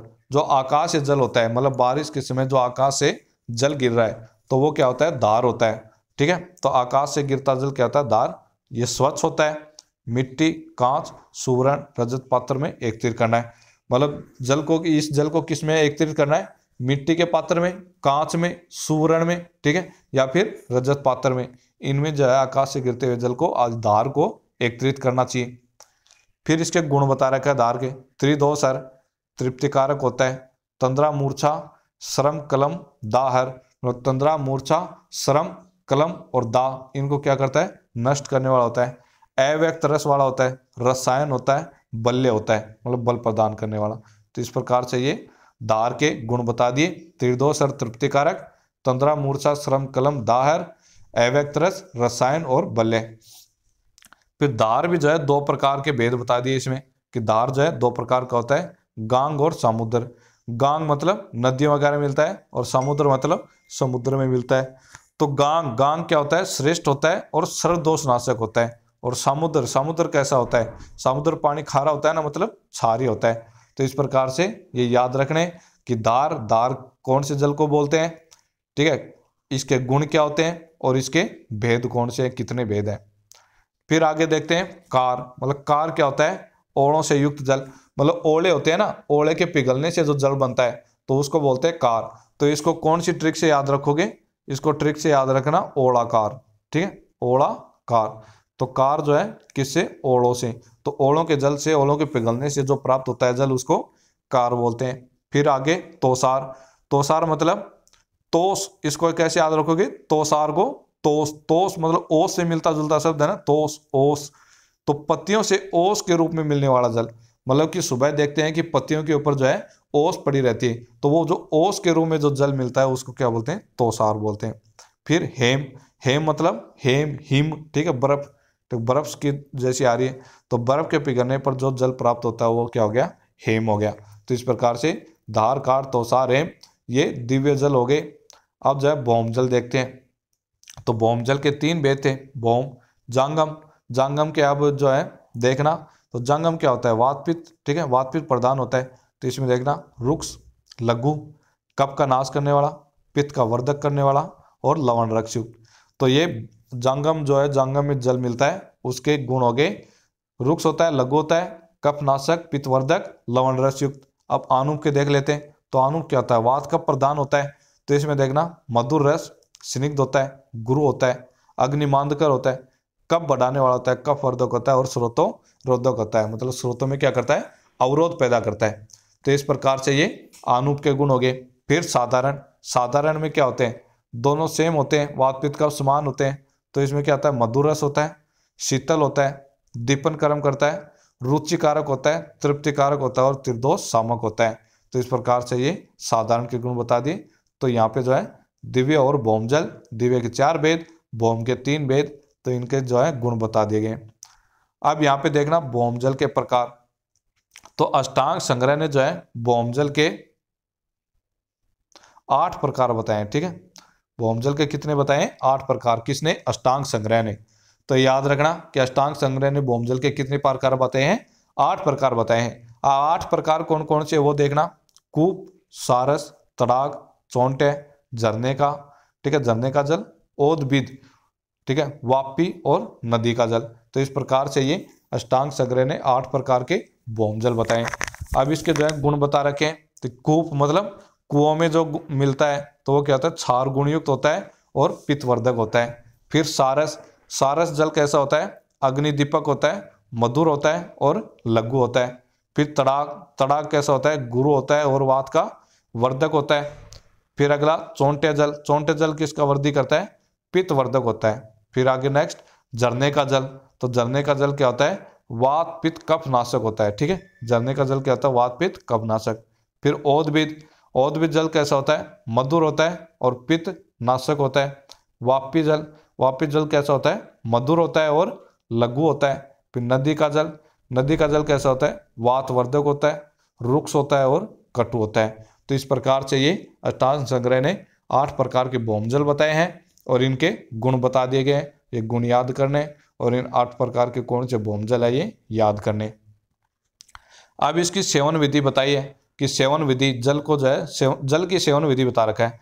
तो इसमें जो है देखना, भोजन के बीच में अल्प सेवन कर कि जल को जो है भोजन के बीच में अल्प मात्रा में सेवन करना चाहिए, ठीक है? भोजन के पहले सेवन नहीं करना चाहिए और नहीं, भोजन के बाद सेवन करना चाहिए। तो भोजन के पहले सेवन कर लिया तो उससे क्या होगा? कृष्ता और अग्निमांद करेगा। अगर भोजन के बाद सेवन करें जल को तो वो स्थूलता उत्पन्न करेगा। तो इसलिए क्या है भोजन के बीच में ही अल्प मात्रा में सेवन करना चाहिए। अब यहाँ पे जो शोधन बता रखा है कि जल का जो है शोधन किस प्रकार से करते हैं तो जल के शोधन की दो विधियाँ एक तो स्लो सैंड फिल्ट्रेशन और एक डोमेस्टिक फिल्ट्रेशन ठीक है? तो ये किसकी होगी? जल के शोधन की विधि होगी। तो इनके बस नाम नाम याद रखने अभी तो। फिर अब थर्ड ईयर में हाइजीन पढ़ेंगे तो वहाँ पे ये आ जाएँगे स्लो ये स्लो सैंड फिल्ट्रेशन और डोमेस्टिक फिल्ट्रेशन तो इस प्रकार से जो है ये अपना जल वर्ग कंप्लीट हो गया अब नेक्स्ट देखते हैं गोरस वर्ग। तो गोरस वर्ग में क्या आते हैं? गो से जो अपने को मतलब कि गोरस वर्ग में आते हैं दुग्ध। सारे दुग्ध आ गए, ठीक है? कि गो का दुग्ध, भैंस का दुग्ध बेकरी का दुग्ध, ठीक है? भेड़ का दुग्ध, इस प्रकार से। तो गोरस वर्ग में कौन से? दुग्ध वर्ग। गोरस वर्ग या फिर इसको दुग्ध वर्ग भी बोल सकते हैं, क्योंकि इसमें क्या बोलते हैं? इसमें सारे के सारे जो हैं दुग्ध बता रखे हैं दुग्ध के गुण बता रखे। तो अब इसमें देखना, दुग्ध दुग्ध के पर्याय बता रखे हैं क्षीर और पेय तो क्षीर और पेय क्या होते हैं? दुग्ध के पर्याय होते हैं। अब यहाँ पे जो है, दुग्ध के नॉर्मल गुण बता रखे। पर्टिकुलर की गोदुग्ध, भैंस का दुग्ध आज़ाद दुग्ध, इनका जो है पर्टिकुलर अब नीचे बताएँगे। लेकिन नॉर्मली पूछे कि जो है, दुग्ध के कितने गुण क्या होते हैं? तो उसमें देखना, मधुर रस शीत वीर्य मधुर विपाक। मतलब कि ये क्या होता है? दुग्ध क्या होता है? मधुर शीत मधुर होता है। मधुर रस शीत वीर्य और मधुर विपाक वाला होता है। स्निग्ध होता है। वात पित्त का सुमन करता है। कप को वर्धक करता है। वरस्य होता है। ओज वर्धक, ओज का वर् मतलब वर्दी करने वाला होता है और गुरु होता है। ठीक है? तो इस प्रकार से ये दुग्ध के क्या बता दिए? नॉर्मल गुण बता दिए। तो गो दुग्ध को जो है सबसे श्रेष्ठ माना गया है। तो दुग्ध में जो है गो दुग्ध को जो है सबसे श्रेष्ठ माना गया है। और सबसे हीन किसको माना गया अवि दुग्ध। मतलब भेड़ का जो दुग्ध होता है ना, वो सबसे हीन माना गया तो ये भी याद रखना कि दुग्धों में सबसे श्रेष्ठ कौन होता है और सबसे हीन कौन होता है। अब नेक्स्ट देखते हैं गोदुग्ध। तो गोदुग्ध के जो है अपन गुण देखते हैं। श्रेष्ठ होता है, गुरु होता है, सर, ठीक है सर गुणयुक्त होता है। तो ये क्या होते हैं इसमें? गुण होते हैं। श्रेष्ठ, गुरु और सरगुणयुक्त। छत छीण में हितकर मतलब छत छीन जो रोग हो गया, उसमें क्या होता है? हितकर होता है, रसायन होता है, बल्य होता है, मेद्य मतलब मेधा शक्ति बढ़ाता है, स्तन्यकर, स्तन्य को बढ़ाने वाला होता है, और रक्त पित्त नाशक, ठीक है? आर से रक्त, पी से पित्त तो रक्त पित्त क्या होता है? नाश करने वाला होता है। तो ये किसके? गोदुग्ध के गुण हो गए अब माइस क्षीर माइस मतलब भैंस तो भैंस का जो है दुग्ध देख लेते हैं, तीक्ष्ण अग्नि तथा अनिद्रा में पथ है। तो माइस क्षीर क्या होता है? ये गुरु होता है। तो इसलिए तीक्ष्ण अग्नि में क्या करते हैं? माइस क्षीर देते हैं और अनिद्रा में भी क्या होता है? पथ्य होता है। फिर इसके अलावा गुरु होता है और स्निग्ध होता है। तो इसलिए तो इसको तीक्ष्ण अग्नि अनिद्रा में दे रहे हैं कि इससे क्या होगी? कब की वृद्धि होगी। तो कब की वृद्धि से निद्रा आएगी और तीक्ष्ण अग्नि भी क्या हो जाएगी? शांत हो जाएगी। तो माइस क्षीर के ये गुण बता दिए। अब बता रहा है आज़ाद क्षीर तो आज़ाद क्षीर मतलब बकरी, ठीक है? बकरी का दूध। तो बकरी के दूध के गुण देखना। कसाय, मधुर। तो मतलब दो रस होते हैं इसमें। कसाय रस होता है और मधुर रस होता है। लघु होता है। छह काश नाशक छह और काश रोग में इसको क्या देते हैं? आज़ाद क्षीर देते हैं और रक्तपित्त का क्या करता है? नाश करता है। तो इस प्रकार से ये बकरी के दूध के गुण हो गए आज़ाद क्षीर के गुण। अब नेक्स्ट देखते हैं ऊटनी का क्षीर ठीक है? तो ऊटनी के क्षीर के गुण देखना। लवण रस युक्त मतलब कि इसमें रस कौन सा होता है? लवण रस होता है। रुक्स होता है। उष्ण होता है। लघु होता है। उदर रोग। कृमिनोग और अर्श रोग में क्या होता है? पथ्य मतलब कि ऊटने का क्षीर कौन कौन से रोगों में देखते हैं? उदर रोग में कर्मी रोग में और अर्श रोग में। ठीक है? तो इस प्रकार से ये ऊँटने के क्षीर के गुण हो गए। अब देखते हैं स्त्री क्षीर। तो स्त्री क्षीर जो है, रक्तपित्त में नश्य जीवनीय ब्रंगणीय नेत्र सूल में तर्पण। तो रक्तपित्त में जो है, रक्तपित्त रोग हो गया तो उसको स्त्री के क्षीर को जो है नशे के रूप में प्रयोग करते हैं। और क्षीर कैसा होता है? जीवनी होता है, जीवन प्रदान करने वाला ब्रंगणीय मतलब दांतों की वृद्धि करने वाला और नेत्र सूल में तर्पण। अगर नेत्र सूल हो रखा है, नेत्र में सूल हो रहा है तो उसमें तर्पण क्रिया भी जो है, स्त्री क्षीर से कर सकते हैं। तो इस प्रकार ये स्त्री क्षीर के गुणक्रम हो गए। अब नेक्स्ट देखते हैं, आवी क्षीर तो आवी क्षीर को जो है, सबसे इन बताया था मतलब भेड़ का जो है, दूध। तो ये क्या होता है, उष्णवीर्य होता है, अहृदय। मतलब हृदय को प्रिय नहीं होता है ये। वात का क्या करता है? सुमन करता है। हिक्का, कास, पित्त, कप आदि का क्या होता है? उत्पादक। मतलब वात का समन करता है और बाकी जो दोष बच गए, दो दोष पित्त और कप, उनका क्या करता है? वृद्धि करने वाला होता है। और हिक्का और कास रोग को भी क्या करता है? ये उत्पन्न कर देता है। ठीक है? तो इस प्रकार से आविक्षीर के गुणक्रम हो गए। फिर हथनी का चीर। हथनी का चीर देना स्थिरता उत्पन्न करने वाला। तो इसको कैसे याद रखोगे कि हाथी मतलब सबसे बड़ा जंतु क्या होता है? हाथी होती है। ठीक है? और वो क्या होती है कि बहुत धीरे धीरे चलती है। तो मतलब कि स्थिरता स्थिरता उत्पन्न करने वाला, है ना? तो आथनी का चीर क्या होता है? स्थिरता उत्पन्न करने वाला होता है। फिर देखते हैं नेक्स्ट घोड़ी का चीर। तो ये क्या होता है? उष्णवीर्य वाला होता है, लघु होता है। शाखागत विकार जो होते हैं, उनको क्या करता है? नाश करता है। किंचित अमल, किंचित लवण, जड़ता कारक। मतलब किंचित क्या होता है? रस बता रहा है क्या है? कुछ तो इसमें अम्ल रस होता है, किंचित लवण। थोड़ा सा लवण रस होता है और जड़ता कारक मतलब जड़ता को करने वाला होता है, जड़ता मतलब जड़ता करता है शरीर में, ठीक है?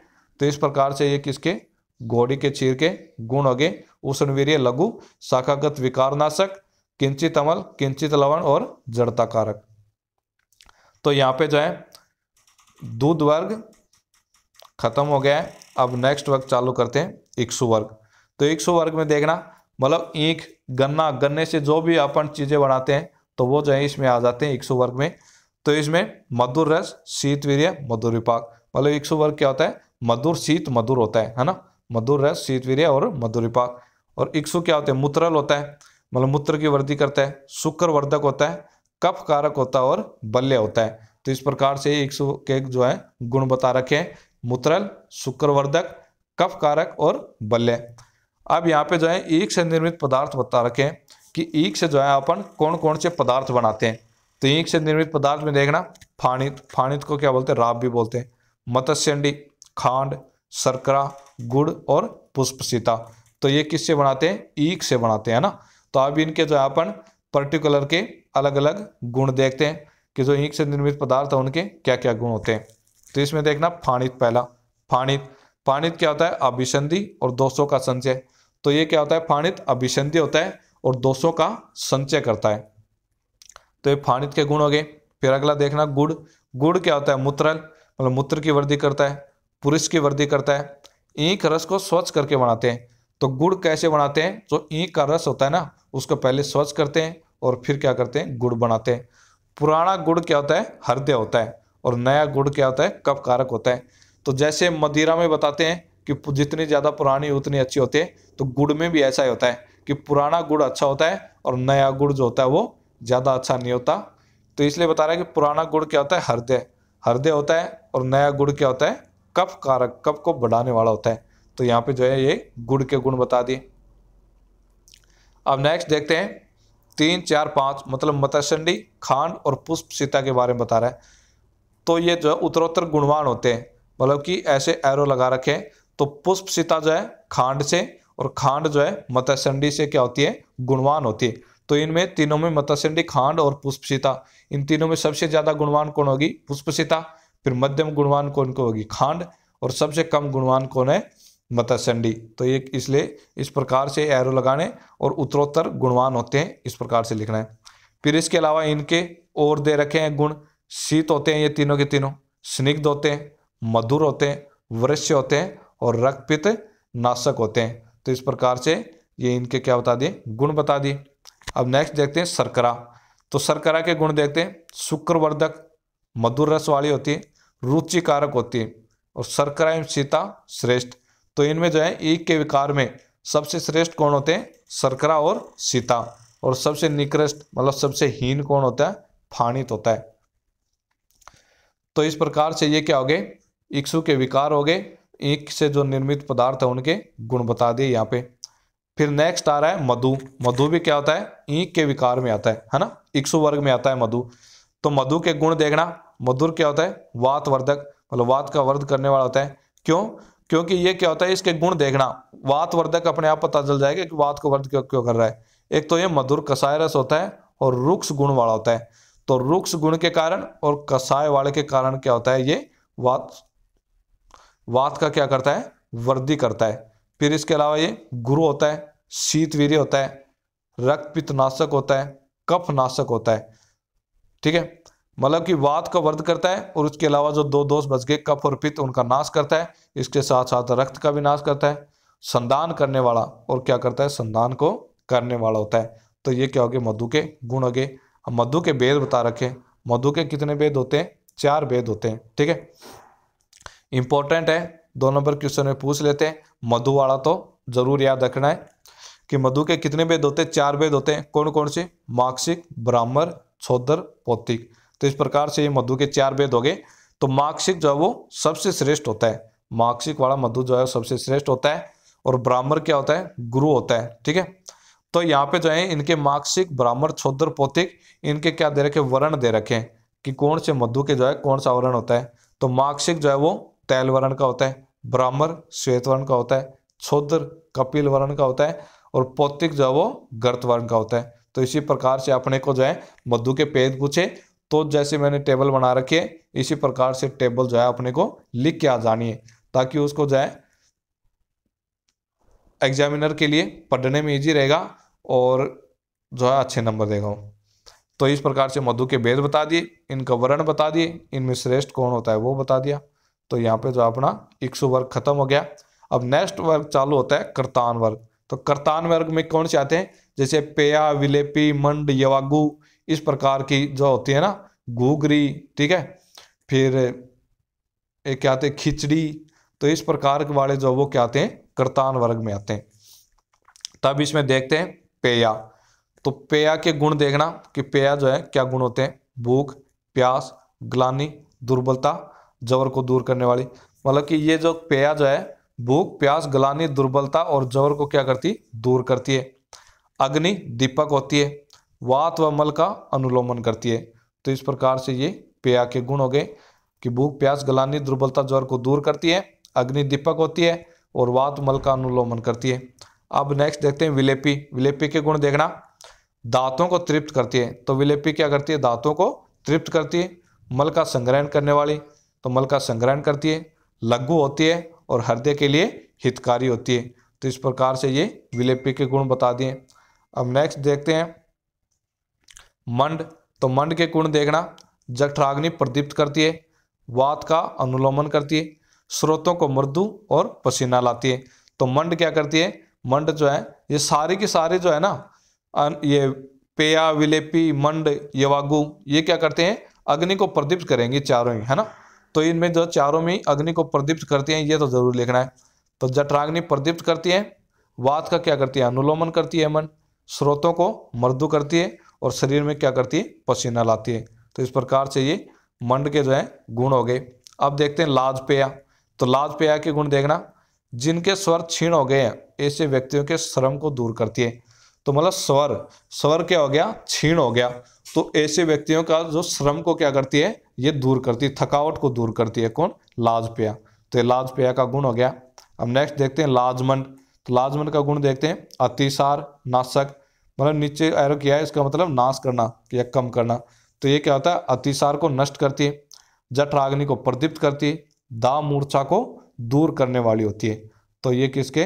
लाजमंड के गुण हो गए कि अतिसार, नाशक जठराग्नि प्रदीपक दा मूर्छा को दूर करने वाली। हम नेक्स्ट देखते हैं बात। तो बात के बारे में पहले बता रहा है कि चावल को ठीक तरह धोकर बात बनाया गया हो। उसका मंड निकाल दिया गया हो और इसे ताज़ा सेवन किया जाए तो पचने में लघु होता है। तो ये बात जो है किससे बनाते हैं? चावल से बनाते हैं। तो चावल को जो है ठीक तरह से धोकर क्या बनाया जाता है? बात बनाया जाता है। फिर ये कह रहा है कि चावल का मंड निकाल देते हैं। मतलब जो चावल बनाते हैं ना अपन तो उसका क्या करते हैं? मंड निकाल देते हैं। तो मंड निकाल देते हैं और अगर इसे ताज़ा सेवन करते हैं तो ये पचने में कैसी होती है? लघु होती है। तो इस प्रकार से यहाँ पे बात के बारे में बताया गया है। अब आगे देखते हैं कुलमास। तो कुलमास किसको बोलते हैं? घूगरी मतलब को जो अपन गेहूँ वगैरह की घूगरी बनाते हैं ना, गाँव में बोलते हैं घूगरी तो वो होगी कुलमास। तो कुलमास क्या होती है? पचने में गुरु होती है रुक्स होती है, वातवर्धक। तो रुक्स होती है, इसलिए क्या हो गया? वातवर्धक होती और मल को पतला करने वाला। और ये क्या करती है? मल को पतला करती है। तो इस प्रकार से ये किसके? कुलमास के गुण हो गए। पचने में गुरु रुक्स वातवर्धक और मल को पतला करने वाला। फिर नेक्स्ट देखते हैं सत्तू।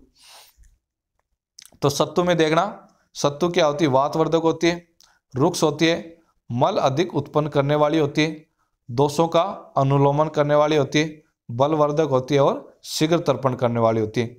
तो ये सत्तू के गुण हो गए कि सत्तु जो है वात को वृद्धि करता है रुक्स होता है, मल अधिक उत्पन्न करता है, दोषों का अनुलोमन करता है, बलवर्धक होता है और ये शीघ्र ही शरीर का क्या करता है? तर्पण करता है। तो ये सत्तु के गुण हो गए। अब नेक्स्ट देखते हैं वेशवार। तो वेशवार के गुण देखना, गुरु, स्निग्ध, बलवर्धक और मांसवर्धक। तो ये वेशवार के गुण हो गए। वेशवार वेशवार बोलते हैं मांस रस को। मांस में जो है छोकन वगैरह लगा के जो रस बनाया जाता है तो वो होगा ठीक है? तो वेशवार क्या होता है? गुरु होता है, स्निग्ध होता है, बलवर्धक होता है और मांसवर्धक होता है। तो इस प्रकार से ये कर्तान वर्ग हो गया। तो कर्तान वर्ग के एग्ज़ाम्पल याद रखने कौन कौन से इसमें लिखने और एग्जाम्पलों के क्या है? गुण याद करने। तो अब नेक्स्ट देखते हैं अपन आहार उपयोगी वर्ग। तो लास्ट वर्ग है वो कौन सा है? आहार उपयोगी मतलब आहार में उपयोग आने वाले। तो इसमें पहला दे रखा है सरसों का तेल। तो सरसों के तेल के गुण पढ़ते हैं। कटुरस उष्ण वीर्य, रक्त पित्त को दूषित करने वाला, कफ शुक्र वात को नष्ट करने वाला, कोठनाशक और कंडुनाशक। मतलब सरसों का तेल इसमें ज़्यादातर कैसे दे रखे? हीन गुण दे रखे मतलब अहित तो करने वाले गुण दे रखे। इसमें देखना, कटु रस तो सरसों के तेल का रस कैसा होता है? कटु होता है, उष्ण वीर्य होता है रक्तपित्त को क्या करता है? दूषित करता है, कफ शुक्र वात को भी क्या करता है? नष्ट करता है। कोठनाशक मतलब कोट का नाश कर रहा है कंडू नाशक और खुजली का नाश कर रहा है। तो इस प्रकार से ये सरसों के तेल के गुण हो गए। अब देखते हैं सौठ, सुंठी सुंठी के गुण। स्निग्ध, अग्निदीपक, शुक्रवर्धक, उष्णवीर्य वात कपनाशक मधुर विपाक, हृदय और रुचिकारक। तो मतलब सुंठी क्या होती है? स्निग्ध होती है, अग्निदीपक होती है, ठीक है? उष्णवीर्य वाली होती है, शुक्रवर्धक मतलब शुक्र की वृद्धि करती है वात कफ का क्या करती है? नाश करती है। मधुर विपाक वाली होती है, हृदय मतलब हृदय को पीरे लगने वाली होती है और ये क्या करती है, रुचिकारक रुचि उत्पन्न करती है। तो इस प्रकार से ये सुंठी के गुण हो गए। अब नेक्स्ट देखते हैं मरीच तो मरीच के गुण। तो मरीच जब वरस्य नहीं है तो मरीच क्या होती है वरस्य नहीं होती है। उष्ण होती है ये, लघु होती है, रुचिकर होती है। छेदन तो शरीर में क्या करती है, छेदन कर्म करती है मरीच फिर शोषण युक्त मतलब शोषण करती है अग्नि दीपक अग्नि का दीपन करती है और कफवात नाशक होती है। मरीच बोलते हैं काली मिर्च को। तो काली मिर्च जो है वरस्य नहीं होती है, उष्ण होती है, लघु होती है, रुचिकर छेदन कर्म करती है, शरीर का शोषण करती है, अग्नि दीपन करती है और कफवात का नाश करती है। तो इस प्रकार से ये मरीज़ के गुण हो गए। अब आगे दे रखे हैं पाँचों गुण जो, पाँचों नमक होते हैं ना, पाँचों नमक पंच लवण के क्या दे रखे हैं? गुण दे रखे हैं। तो सेंधा नमक देखना। सेंधा नमक क्या होता है? रुचिकारक होता है। जठराग्नि दीपक, शुक्रवर्धक, नेत्रों के लिए हितकर, विदा नहीं करने वाला, वात पित्त कफ नाशक ईसत मधुर और सभी नमक में उत्तम। तो सबसे जो पाँचों लवण होते हैं, पाँचों नमक होते हैं, उनमें सबसे उत्तम कौन सा होता है? सेंधा नमक होता है। तो सभी नमक में उत्तम होता है, ये विदा करने वाला नहीं होता है। रुचिकारक होता है, जठराग्नि को प्रदीप्त करता है, शुक्र को बढ़ाता है, नेत्रों के लिए हितकर होता है और वात पित्त कप मतलब त्रिदोष सामक होता है ये, और ईसत मधुर, और इसमें थोड़ा थोड़ा मधुर रस भी मिलता है। तो इस प्रकार ये सेंधा नमक के गुण हो गए। अब नेक्स्ट देखते हैं सोनचर नमक। मतलब कि सोवरचल नमक जो होता है, उसके गुण। सूक्ष्म उष्ण वीर्य रुचिकारक, विबंधनाशक, हृदय, उद्गार शुद्धि करने वाला। तो सौरचल नमक कैसा होता है? सूक्ष्म होता है उष्ण वीर्य वाला होता है। मतलब कि नमक जो है ना, चारों पाँच नमक है, पाँच नमक में सेंधा नमक ऐसा है जो शीत वीर्य वाला होता है, बाकी चारों क्या होते हैं, उष्ण वीर्य वाले होते हैं। तो सब बाकी चारों में क्या करता है, उष्ण वीर्य भी लिखना है और यहाँ पे इसमें लिख नहीं रखा, लिख लेना कि सेंधा नमक कैसा होता है, शीत वीर्य वाला होता है, ठीक है? तो सोवर्चल नमक सूक्ष्म हो गया, उष्ण वीर्य होता है, रुचिकारक होता है, रुचि उत्पन्न करने वाला होता है, विबंध का नाश करता है, हृदय होता है और उद्गार की शुद्धि करता है। मतलब डकार जो आती है उसको क्या करता है शुद्ध करता है। अब नेक्स्ट देखते हैं वीड नमक। तो वीड नमक के गुण देखना। तीक्ष्ण, उष्ण व्यवाई जठराग्नि दीपक शूल प्रशामक और वातानुलोमक। मतलब कि तीक्ष्ण होता है, उष्ण वीर्य वाला होता है व्यवाई होता है, जठराग्नि को प्रदीप्त करता है, शूल को नाश करता है और वात का अनुलोमन करता है। तो ये किसके गुण हो गए? वीड नमक के गुण हो गए। हम नेक्स्ट देखते हैं उद्भिज नमक। तो उद्भिज नमक के गुण देखना। रस रस बता रखे ईसत मधुर तिक्त कटु और ईसत सारिय। बोले इसमें क्या कितने मिलते हैं? चार जो रस मिल रहे हैं। ईसत मधुर मतलब मधुर कैसा होता है? थोड़ी मात्रा में होता है। फिर तिक्त कटु होता है और ईसत सार्य। सार भी कैसा होता है? ईसत सार्य होता है। तो इस प्रकार से रस को इसी प्रकार से याद रखना है। ईसत मधुर, तिक्त कटु, ईसत सार्य। फिर ये कैसा होता है? तीक्ष्ण होता है और मल को वेदन करने वाला होता है। तो इस प्रकार ये उद्भिज नमक के गुण हो गए। अब नेक्स्ट देखते हैं सामुद्र नमक। तो सामुद्र नमक के, के गुण देखना? ईसत मधुर ईसत तिक्त और संरक्षण करने वाला। तो समुद्र नमक में कौन से रस हो गए? ईसत मधुर और थोड़ा सा मधुर रस ईसत तिक्त थोड़ा सा तिक्त रस और ये कैसा होता है? संरक्षण कर्म करने वाला होता है। ठीक है? तो इस प्रकार ये समुद्र नमक के क्या हो गए? गुण क्रम हो गए। हम नेक्स्ट देखते हैं यवछार मतलब यवछार होता है। तो यवछार के देखना कौन से गुण है? हृदय रोग पांडु रोग ग्रहणी विकार प्लियावर्दी नाशक। तो यवछार क्या करता है कि हृदय के रोग हो गए, पांडु रोग हो गया ग्रहणी रोग हो गया, या फिर प्लियावर्दी रोग हो गया तो इनका क्या करती है, इन रोगों को नष्ट करती है या समन करती है। तो ये यवसार के गुण हो गए। अब देखते हैं हिंगू। हींग जो होती है, उसके गुण। वात व कब्जन्य विबंधर कटुरस, उष्णवीर्य, अग्निदीपक, पाचन, रुचिकारक और लघु। तो हींग क्या होती है? वात व कफजन्य विबंधर। मतलब वात और कफ के कारण जो विबंध हो रहा है ना कॉन्स्टिपेशन हो रहा है, वात और कफ के कारण, उसको क्या करती है? नष्ट करती है। तो इसलिए लिख रखा है, वात व कफजन्य विबंधर मतलब वात, कफजन्य विबंध को नष्ट करने वाली। फिर इसका रस कैसा होता है? कटोरस होता है। उष्ण वीर्य वाली होती है। अग्नि को प्रदीप्त करती है। पाचन करती है। रुचिकारक होती है। और लघु होती है। तो इस प्रकार से ये हींग के क्या बता दिए? गुण बता दिए। तो यहाँ पे जो है अपने बारह के बारह आहार वर्ग जो है खत्म हो गए तो बारह आहार वर्ग, पहले तो बारह के नाम याद रखने, दो नंबर क्वेश्चन में पूछ लेते हैं। फिर इसके अलावा जो है, इनके एग्ज़ाम्पल याद रखने, दस नंबर क्वेश्चन में आए कि कोई सा भी वर्ग उठा के देती, हरित वर्ग के बारे में पूछ लिया, करतान वर्ग पूछ लिया, साक वर्ग पूछ लिया, सूख दाने वर्ग पूछ लिया। तो हर एक वर्ग के कौन कौन से एग्ज़ाम्पल हैं और हर एक एग्ज़ाम्पल के कौन कौन से गुण हैं तो वह इस प्रकार से अपने को ये याद ही करने पड़ेंगे। अब सताइसवें चैप्टर में आगे देखते हैं। Quotation number three one nine ठीक है? तीन सौ उन्नीस। तो इसमें अनुपान की परिभाषा दे रखी है यहाँ पे। तो इंपॉर्टेंट है, दो नंबर क्वेश्चन में पूछ ली जाती है अनुपान की परिभाषा, बताओ। तो इसमें परिभाषा में देखना, जो पेय पदार्थ आहार के गुणों से विपरीत गुण वाला हो अन्न द्रव्यों का उचित अनुपान होता है, पर वह अनुपात धातुओं का विरोधी नहीं होना चाहिए। बल्कि अनुपान कैसा होना चाहिए? जो आहार खा रहे हैं ना उसके तो गुणों के विपरीत गुण वाला होना चाहिए, लेकिन दांतों का विरोधी नहीं होना चाहिए। तो इसमें दो ही चीज़ याद रखनी कि जो पेय पदार्थ आहार के गुणों से विपरीत गुण वाला होता है, लेकिन दांतों के विरोधी नहीं होता है तो वो उसको क्या कहते हैं?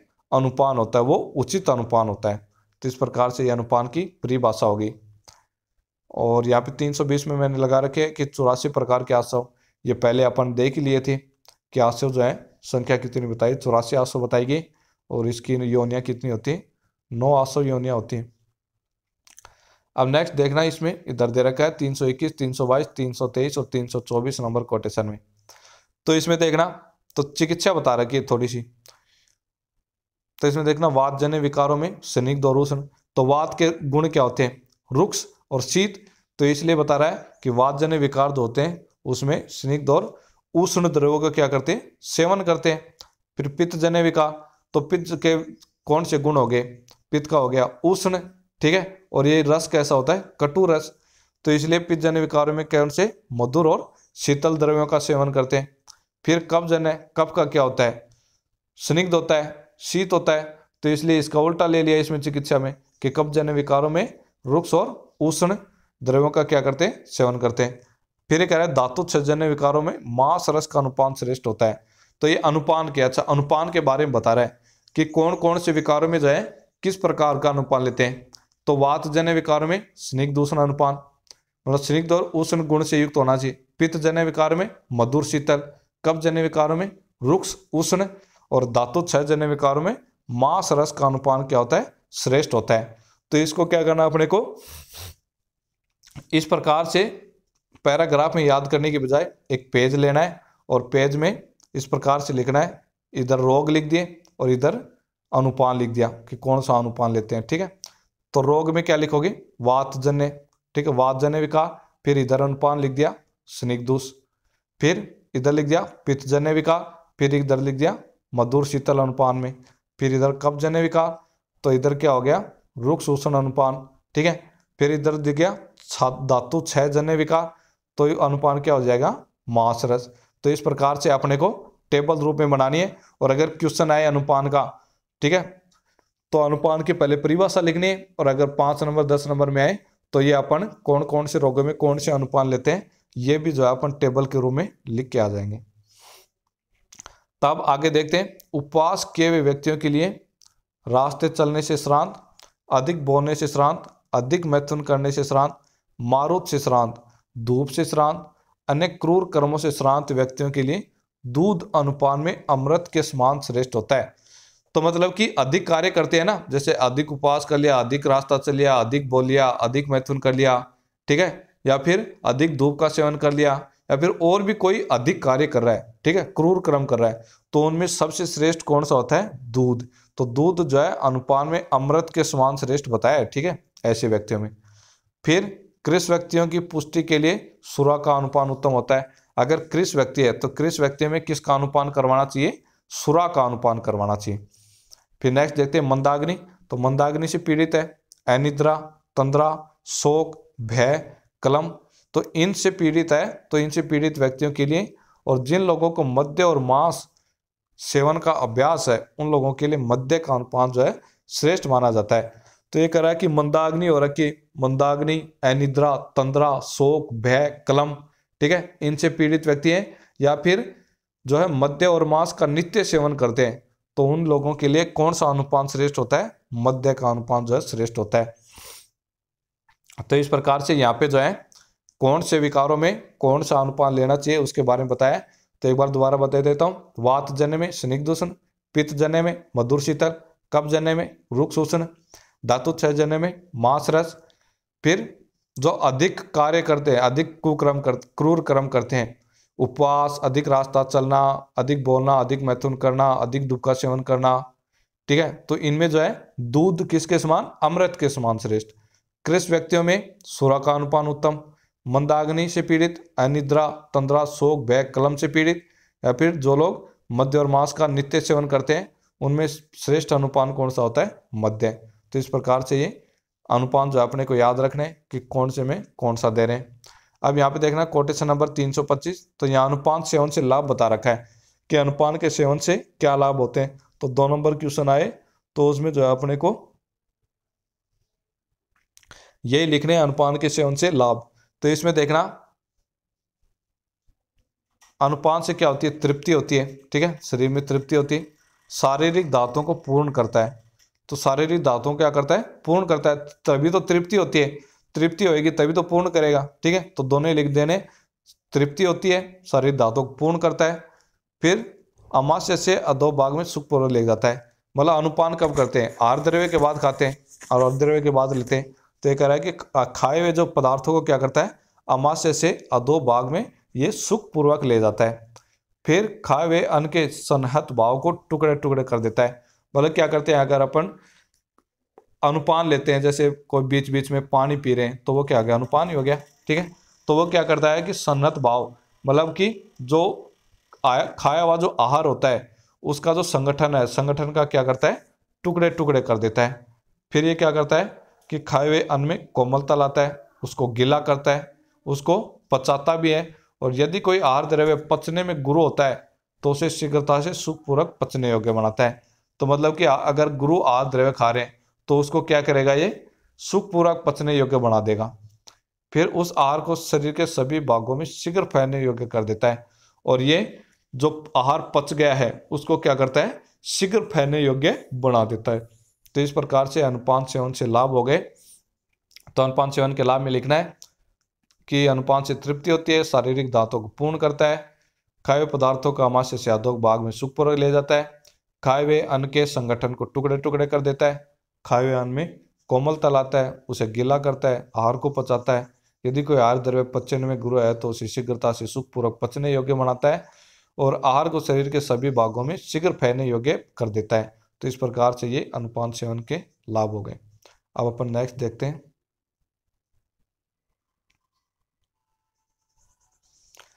तो यहाँ पे दे रखे हैं cottage number three two seven three two eight में। कि भोजन के बाद जल न पीने योग्य व्यक्ति। मतलब ऐसे कौन से व्यक्ति हैं जिनको जो है भोजन के बाद जल नहीं पीना चाहिए?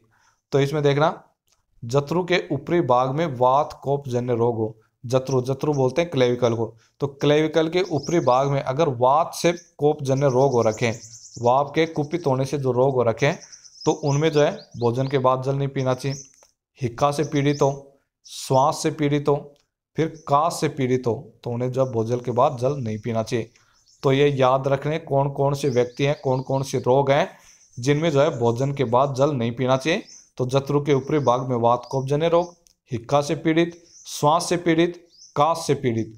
तो ये चार रोग दे रखे, चार ऐसे व्यक्ति बता रखे कि जिनको भोजन के बाद जल नहीं पीना चाहिए। अब यहाँ पे जो है अनपान विषयक परीक्षा तो यहाँ पे जो है क्वेश्चन आता है कि मांस परीक्षा बताओ। दस नंबर में क्वेश्चन आ जाता है कि मांस परीक्षा बताओ तो उसमें जो है अपने को यही लिखना है कि अनपान विषयक परीक्षा तो अनपान की परीक्षा किस प्रकार से करते हैं या फिर मास की परीक्षा जो है किस प्रकार से करते हैं? तो ये इंपॉर्टेंट है, दस नंबर क्वेश्चन में आ जाता है कि मास की परीक्षा बताओ या फिर अनपान विषयक परीक्षा बताओ। तो इसमें जो है अपने को कोटेशन याद करना है ताकि जो है इनके पॉइंट याद करने में इजी हो जाएगा। चर शरीर अवयवा, स्वभाव दात्व क्रिया, लिंगम प्रमाणम संस्कारो, मात्रा, च परीक्षा थे। मतलब कि परीक्षा के जो है यहाँ पे नौ पॉइंट है। तो नौ पॉइंट के द्वारा क्या करते हैं इसकी? अनपान की परीक्षा करते हैं। तो इसमें देखना, पहला क्या है? चर। ठीक है? मतलब देश हो गया, फिर शरीर अवयव हो गए, स्वभाव धातुएँ होगी क्रिया होगी लिंग हो गया, प्रमाण हो गया, संस्कार हो गया और मात्रा होगी तो इस प्रकार से ये नौ पॉइंट है। इन नौ पॉइंट के आधार पे क्या करते हैं? अनुपान की परीक्षा करते हैं। अब इनके बारे में जो है पर डिटेल में पढ़ते हैं। तो इनमें जो है आगे दस नंबर क्वेश्चन में आए तो क्या क्या लिखना है? तो पहले तो इस प्रकार से अपने को ये लिख देना है कि को, ये कोटेशन लिखना है फिर ये इसकी हिंदी बना के लिख देनी है फिर आगे इनके बारे में हर एक के बारे में वर्णन करना है। तो पहला आता है चर परीक्षा। तो चर परीक्षा ये बता रहा है कि जो जीव अनुपदेश चर चर का मतलब बता रहा है देश ठीक है? देश।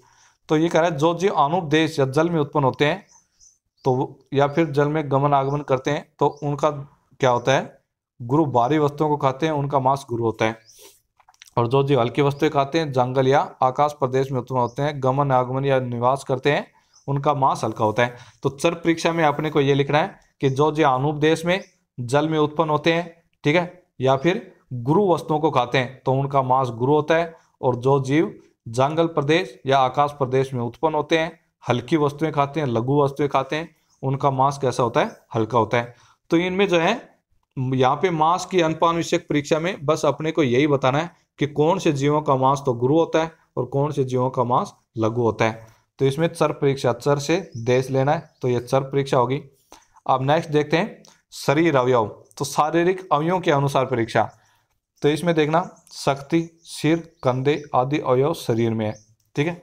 शक्ति मतलब हाथ, पैर हो गए। सॉरी शक्ति होगी जान। तो कह रहा है, शक्ति, सिर और कंधे आदि अवयव शरीर में ही है। तो कह रहा है, शक्ति के मांस की अपेक्षा, कंधे का मांस, फिर कंधे के मांस की अपेक्षा छाती और उदर का मांस, छाती और उदर के मांस की अपेक्षा सिर का मांस गुरु होता है। मतलब कि नीचे से लेके जैसे जैसे अपन ऊपर सिर की तरफ़ बढ़ते जाते हैं वैसे वैसे क्या हो जाता है कि मांस जो है ग्रो होता जाता है, ठीक है? तो अपने को ये याद रखना है और इतना ही याद रखना है यहाँ तक। तो कैसे? शक्ति शक्ति से मांस की अपेक्षा, कंधा, कंधे की मांस की अपेक्षा, छाती और उधर का मांस और उधर, छाती और उधर के मांस की अपेक्षा, सिर का मांस क्या होता है? गुरु होता है। और इसमें जो है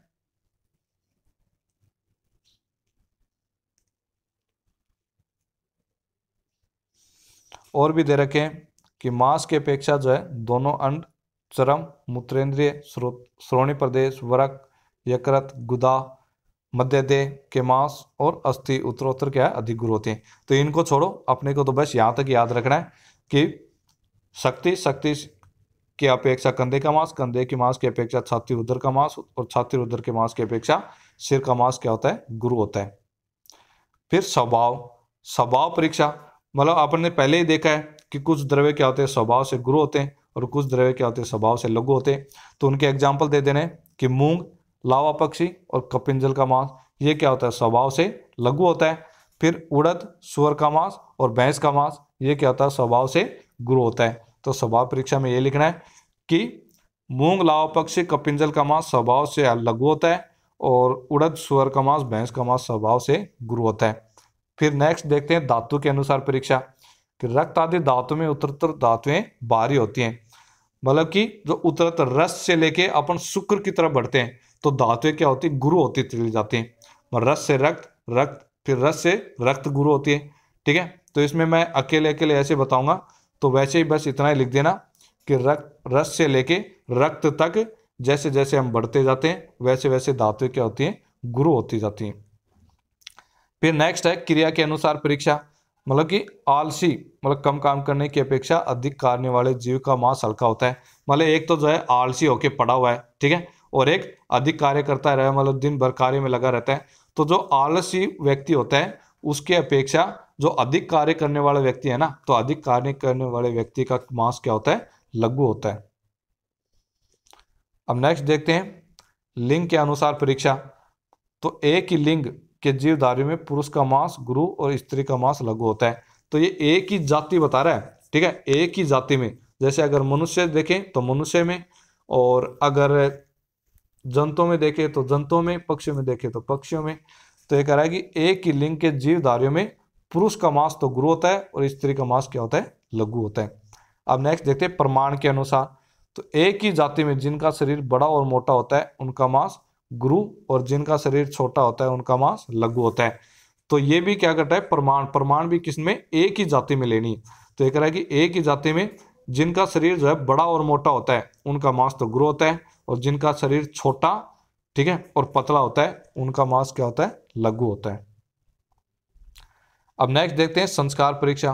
तो संस्कार, देखिए संस्कार में बाहरी द्रव्य भी हल्के और हल्के द्रव्य भी बाहरी हो जाते हैं, ठीक है। तो संस्कार के द्वारा क्या करते हैं कि संस्कार अगर करते हैं तो संस्कार करने पर भी गुरु द्रव्य भी हल्के हो जाते हैं, लघु हो जाते हैं, और संस्कार करने से लघु द्रव्य भी ये गुरु हो जाते हैं। तो इस प्रकार से लिखना है कि संस्कार में गुरु द्रव्य हल्के, गुरु द्रव्य भी हल्के और लघु द्रव्य भी भारी हो जाते हैं। फिर इसमें एग्ज़ाम्पल बता रखा है कि ब्री दाने जो है, स्वभाव से क्या होता है? गुरु होता है, पर उसी से बना हुआ बात का, ये धान का लावा क्या होता है? हल्का होता है। ठीक है? तो ये एक एग्ज़ाम्पल दे देना है। कि ब्री दाने जो है स्वभाव से गुरु होता है, लेकिन इससे बना हुआ धान का लावा क्या होता है? लघु होता है। तो ये संस्कार परीक्षा होगी। अब नेक्स्ट देखते हैं। मात्रा के अनुसार परीक्षा, ठीक है?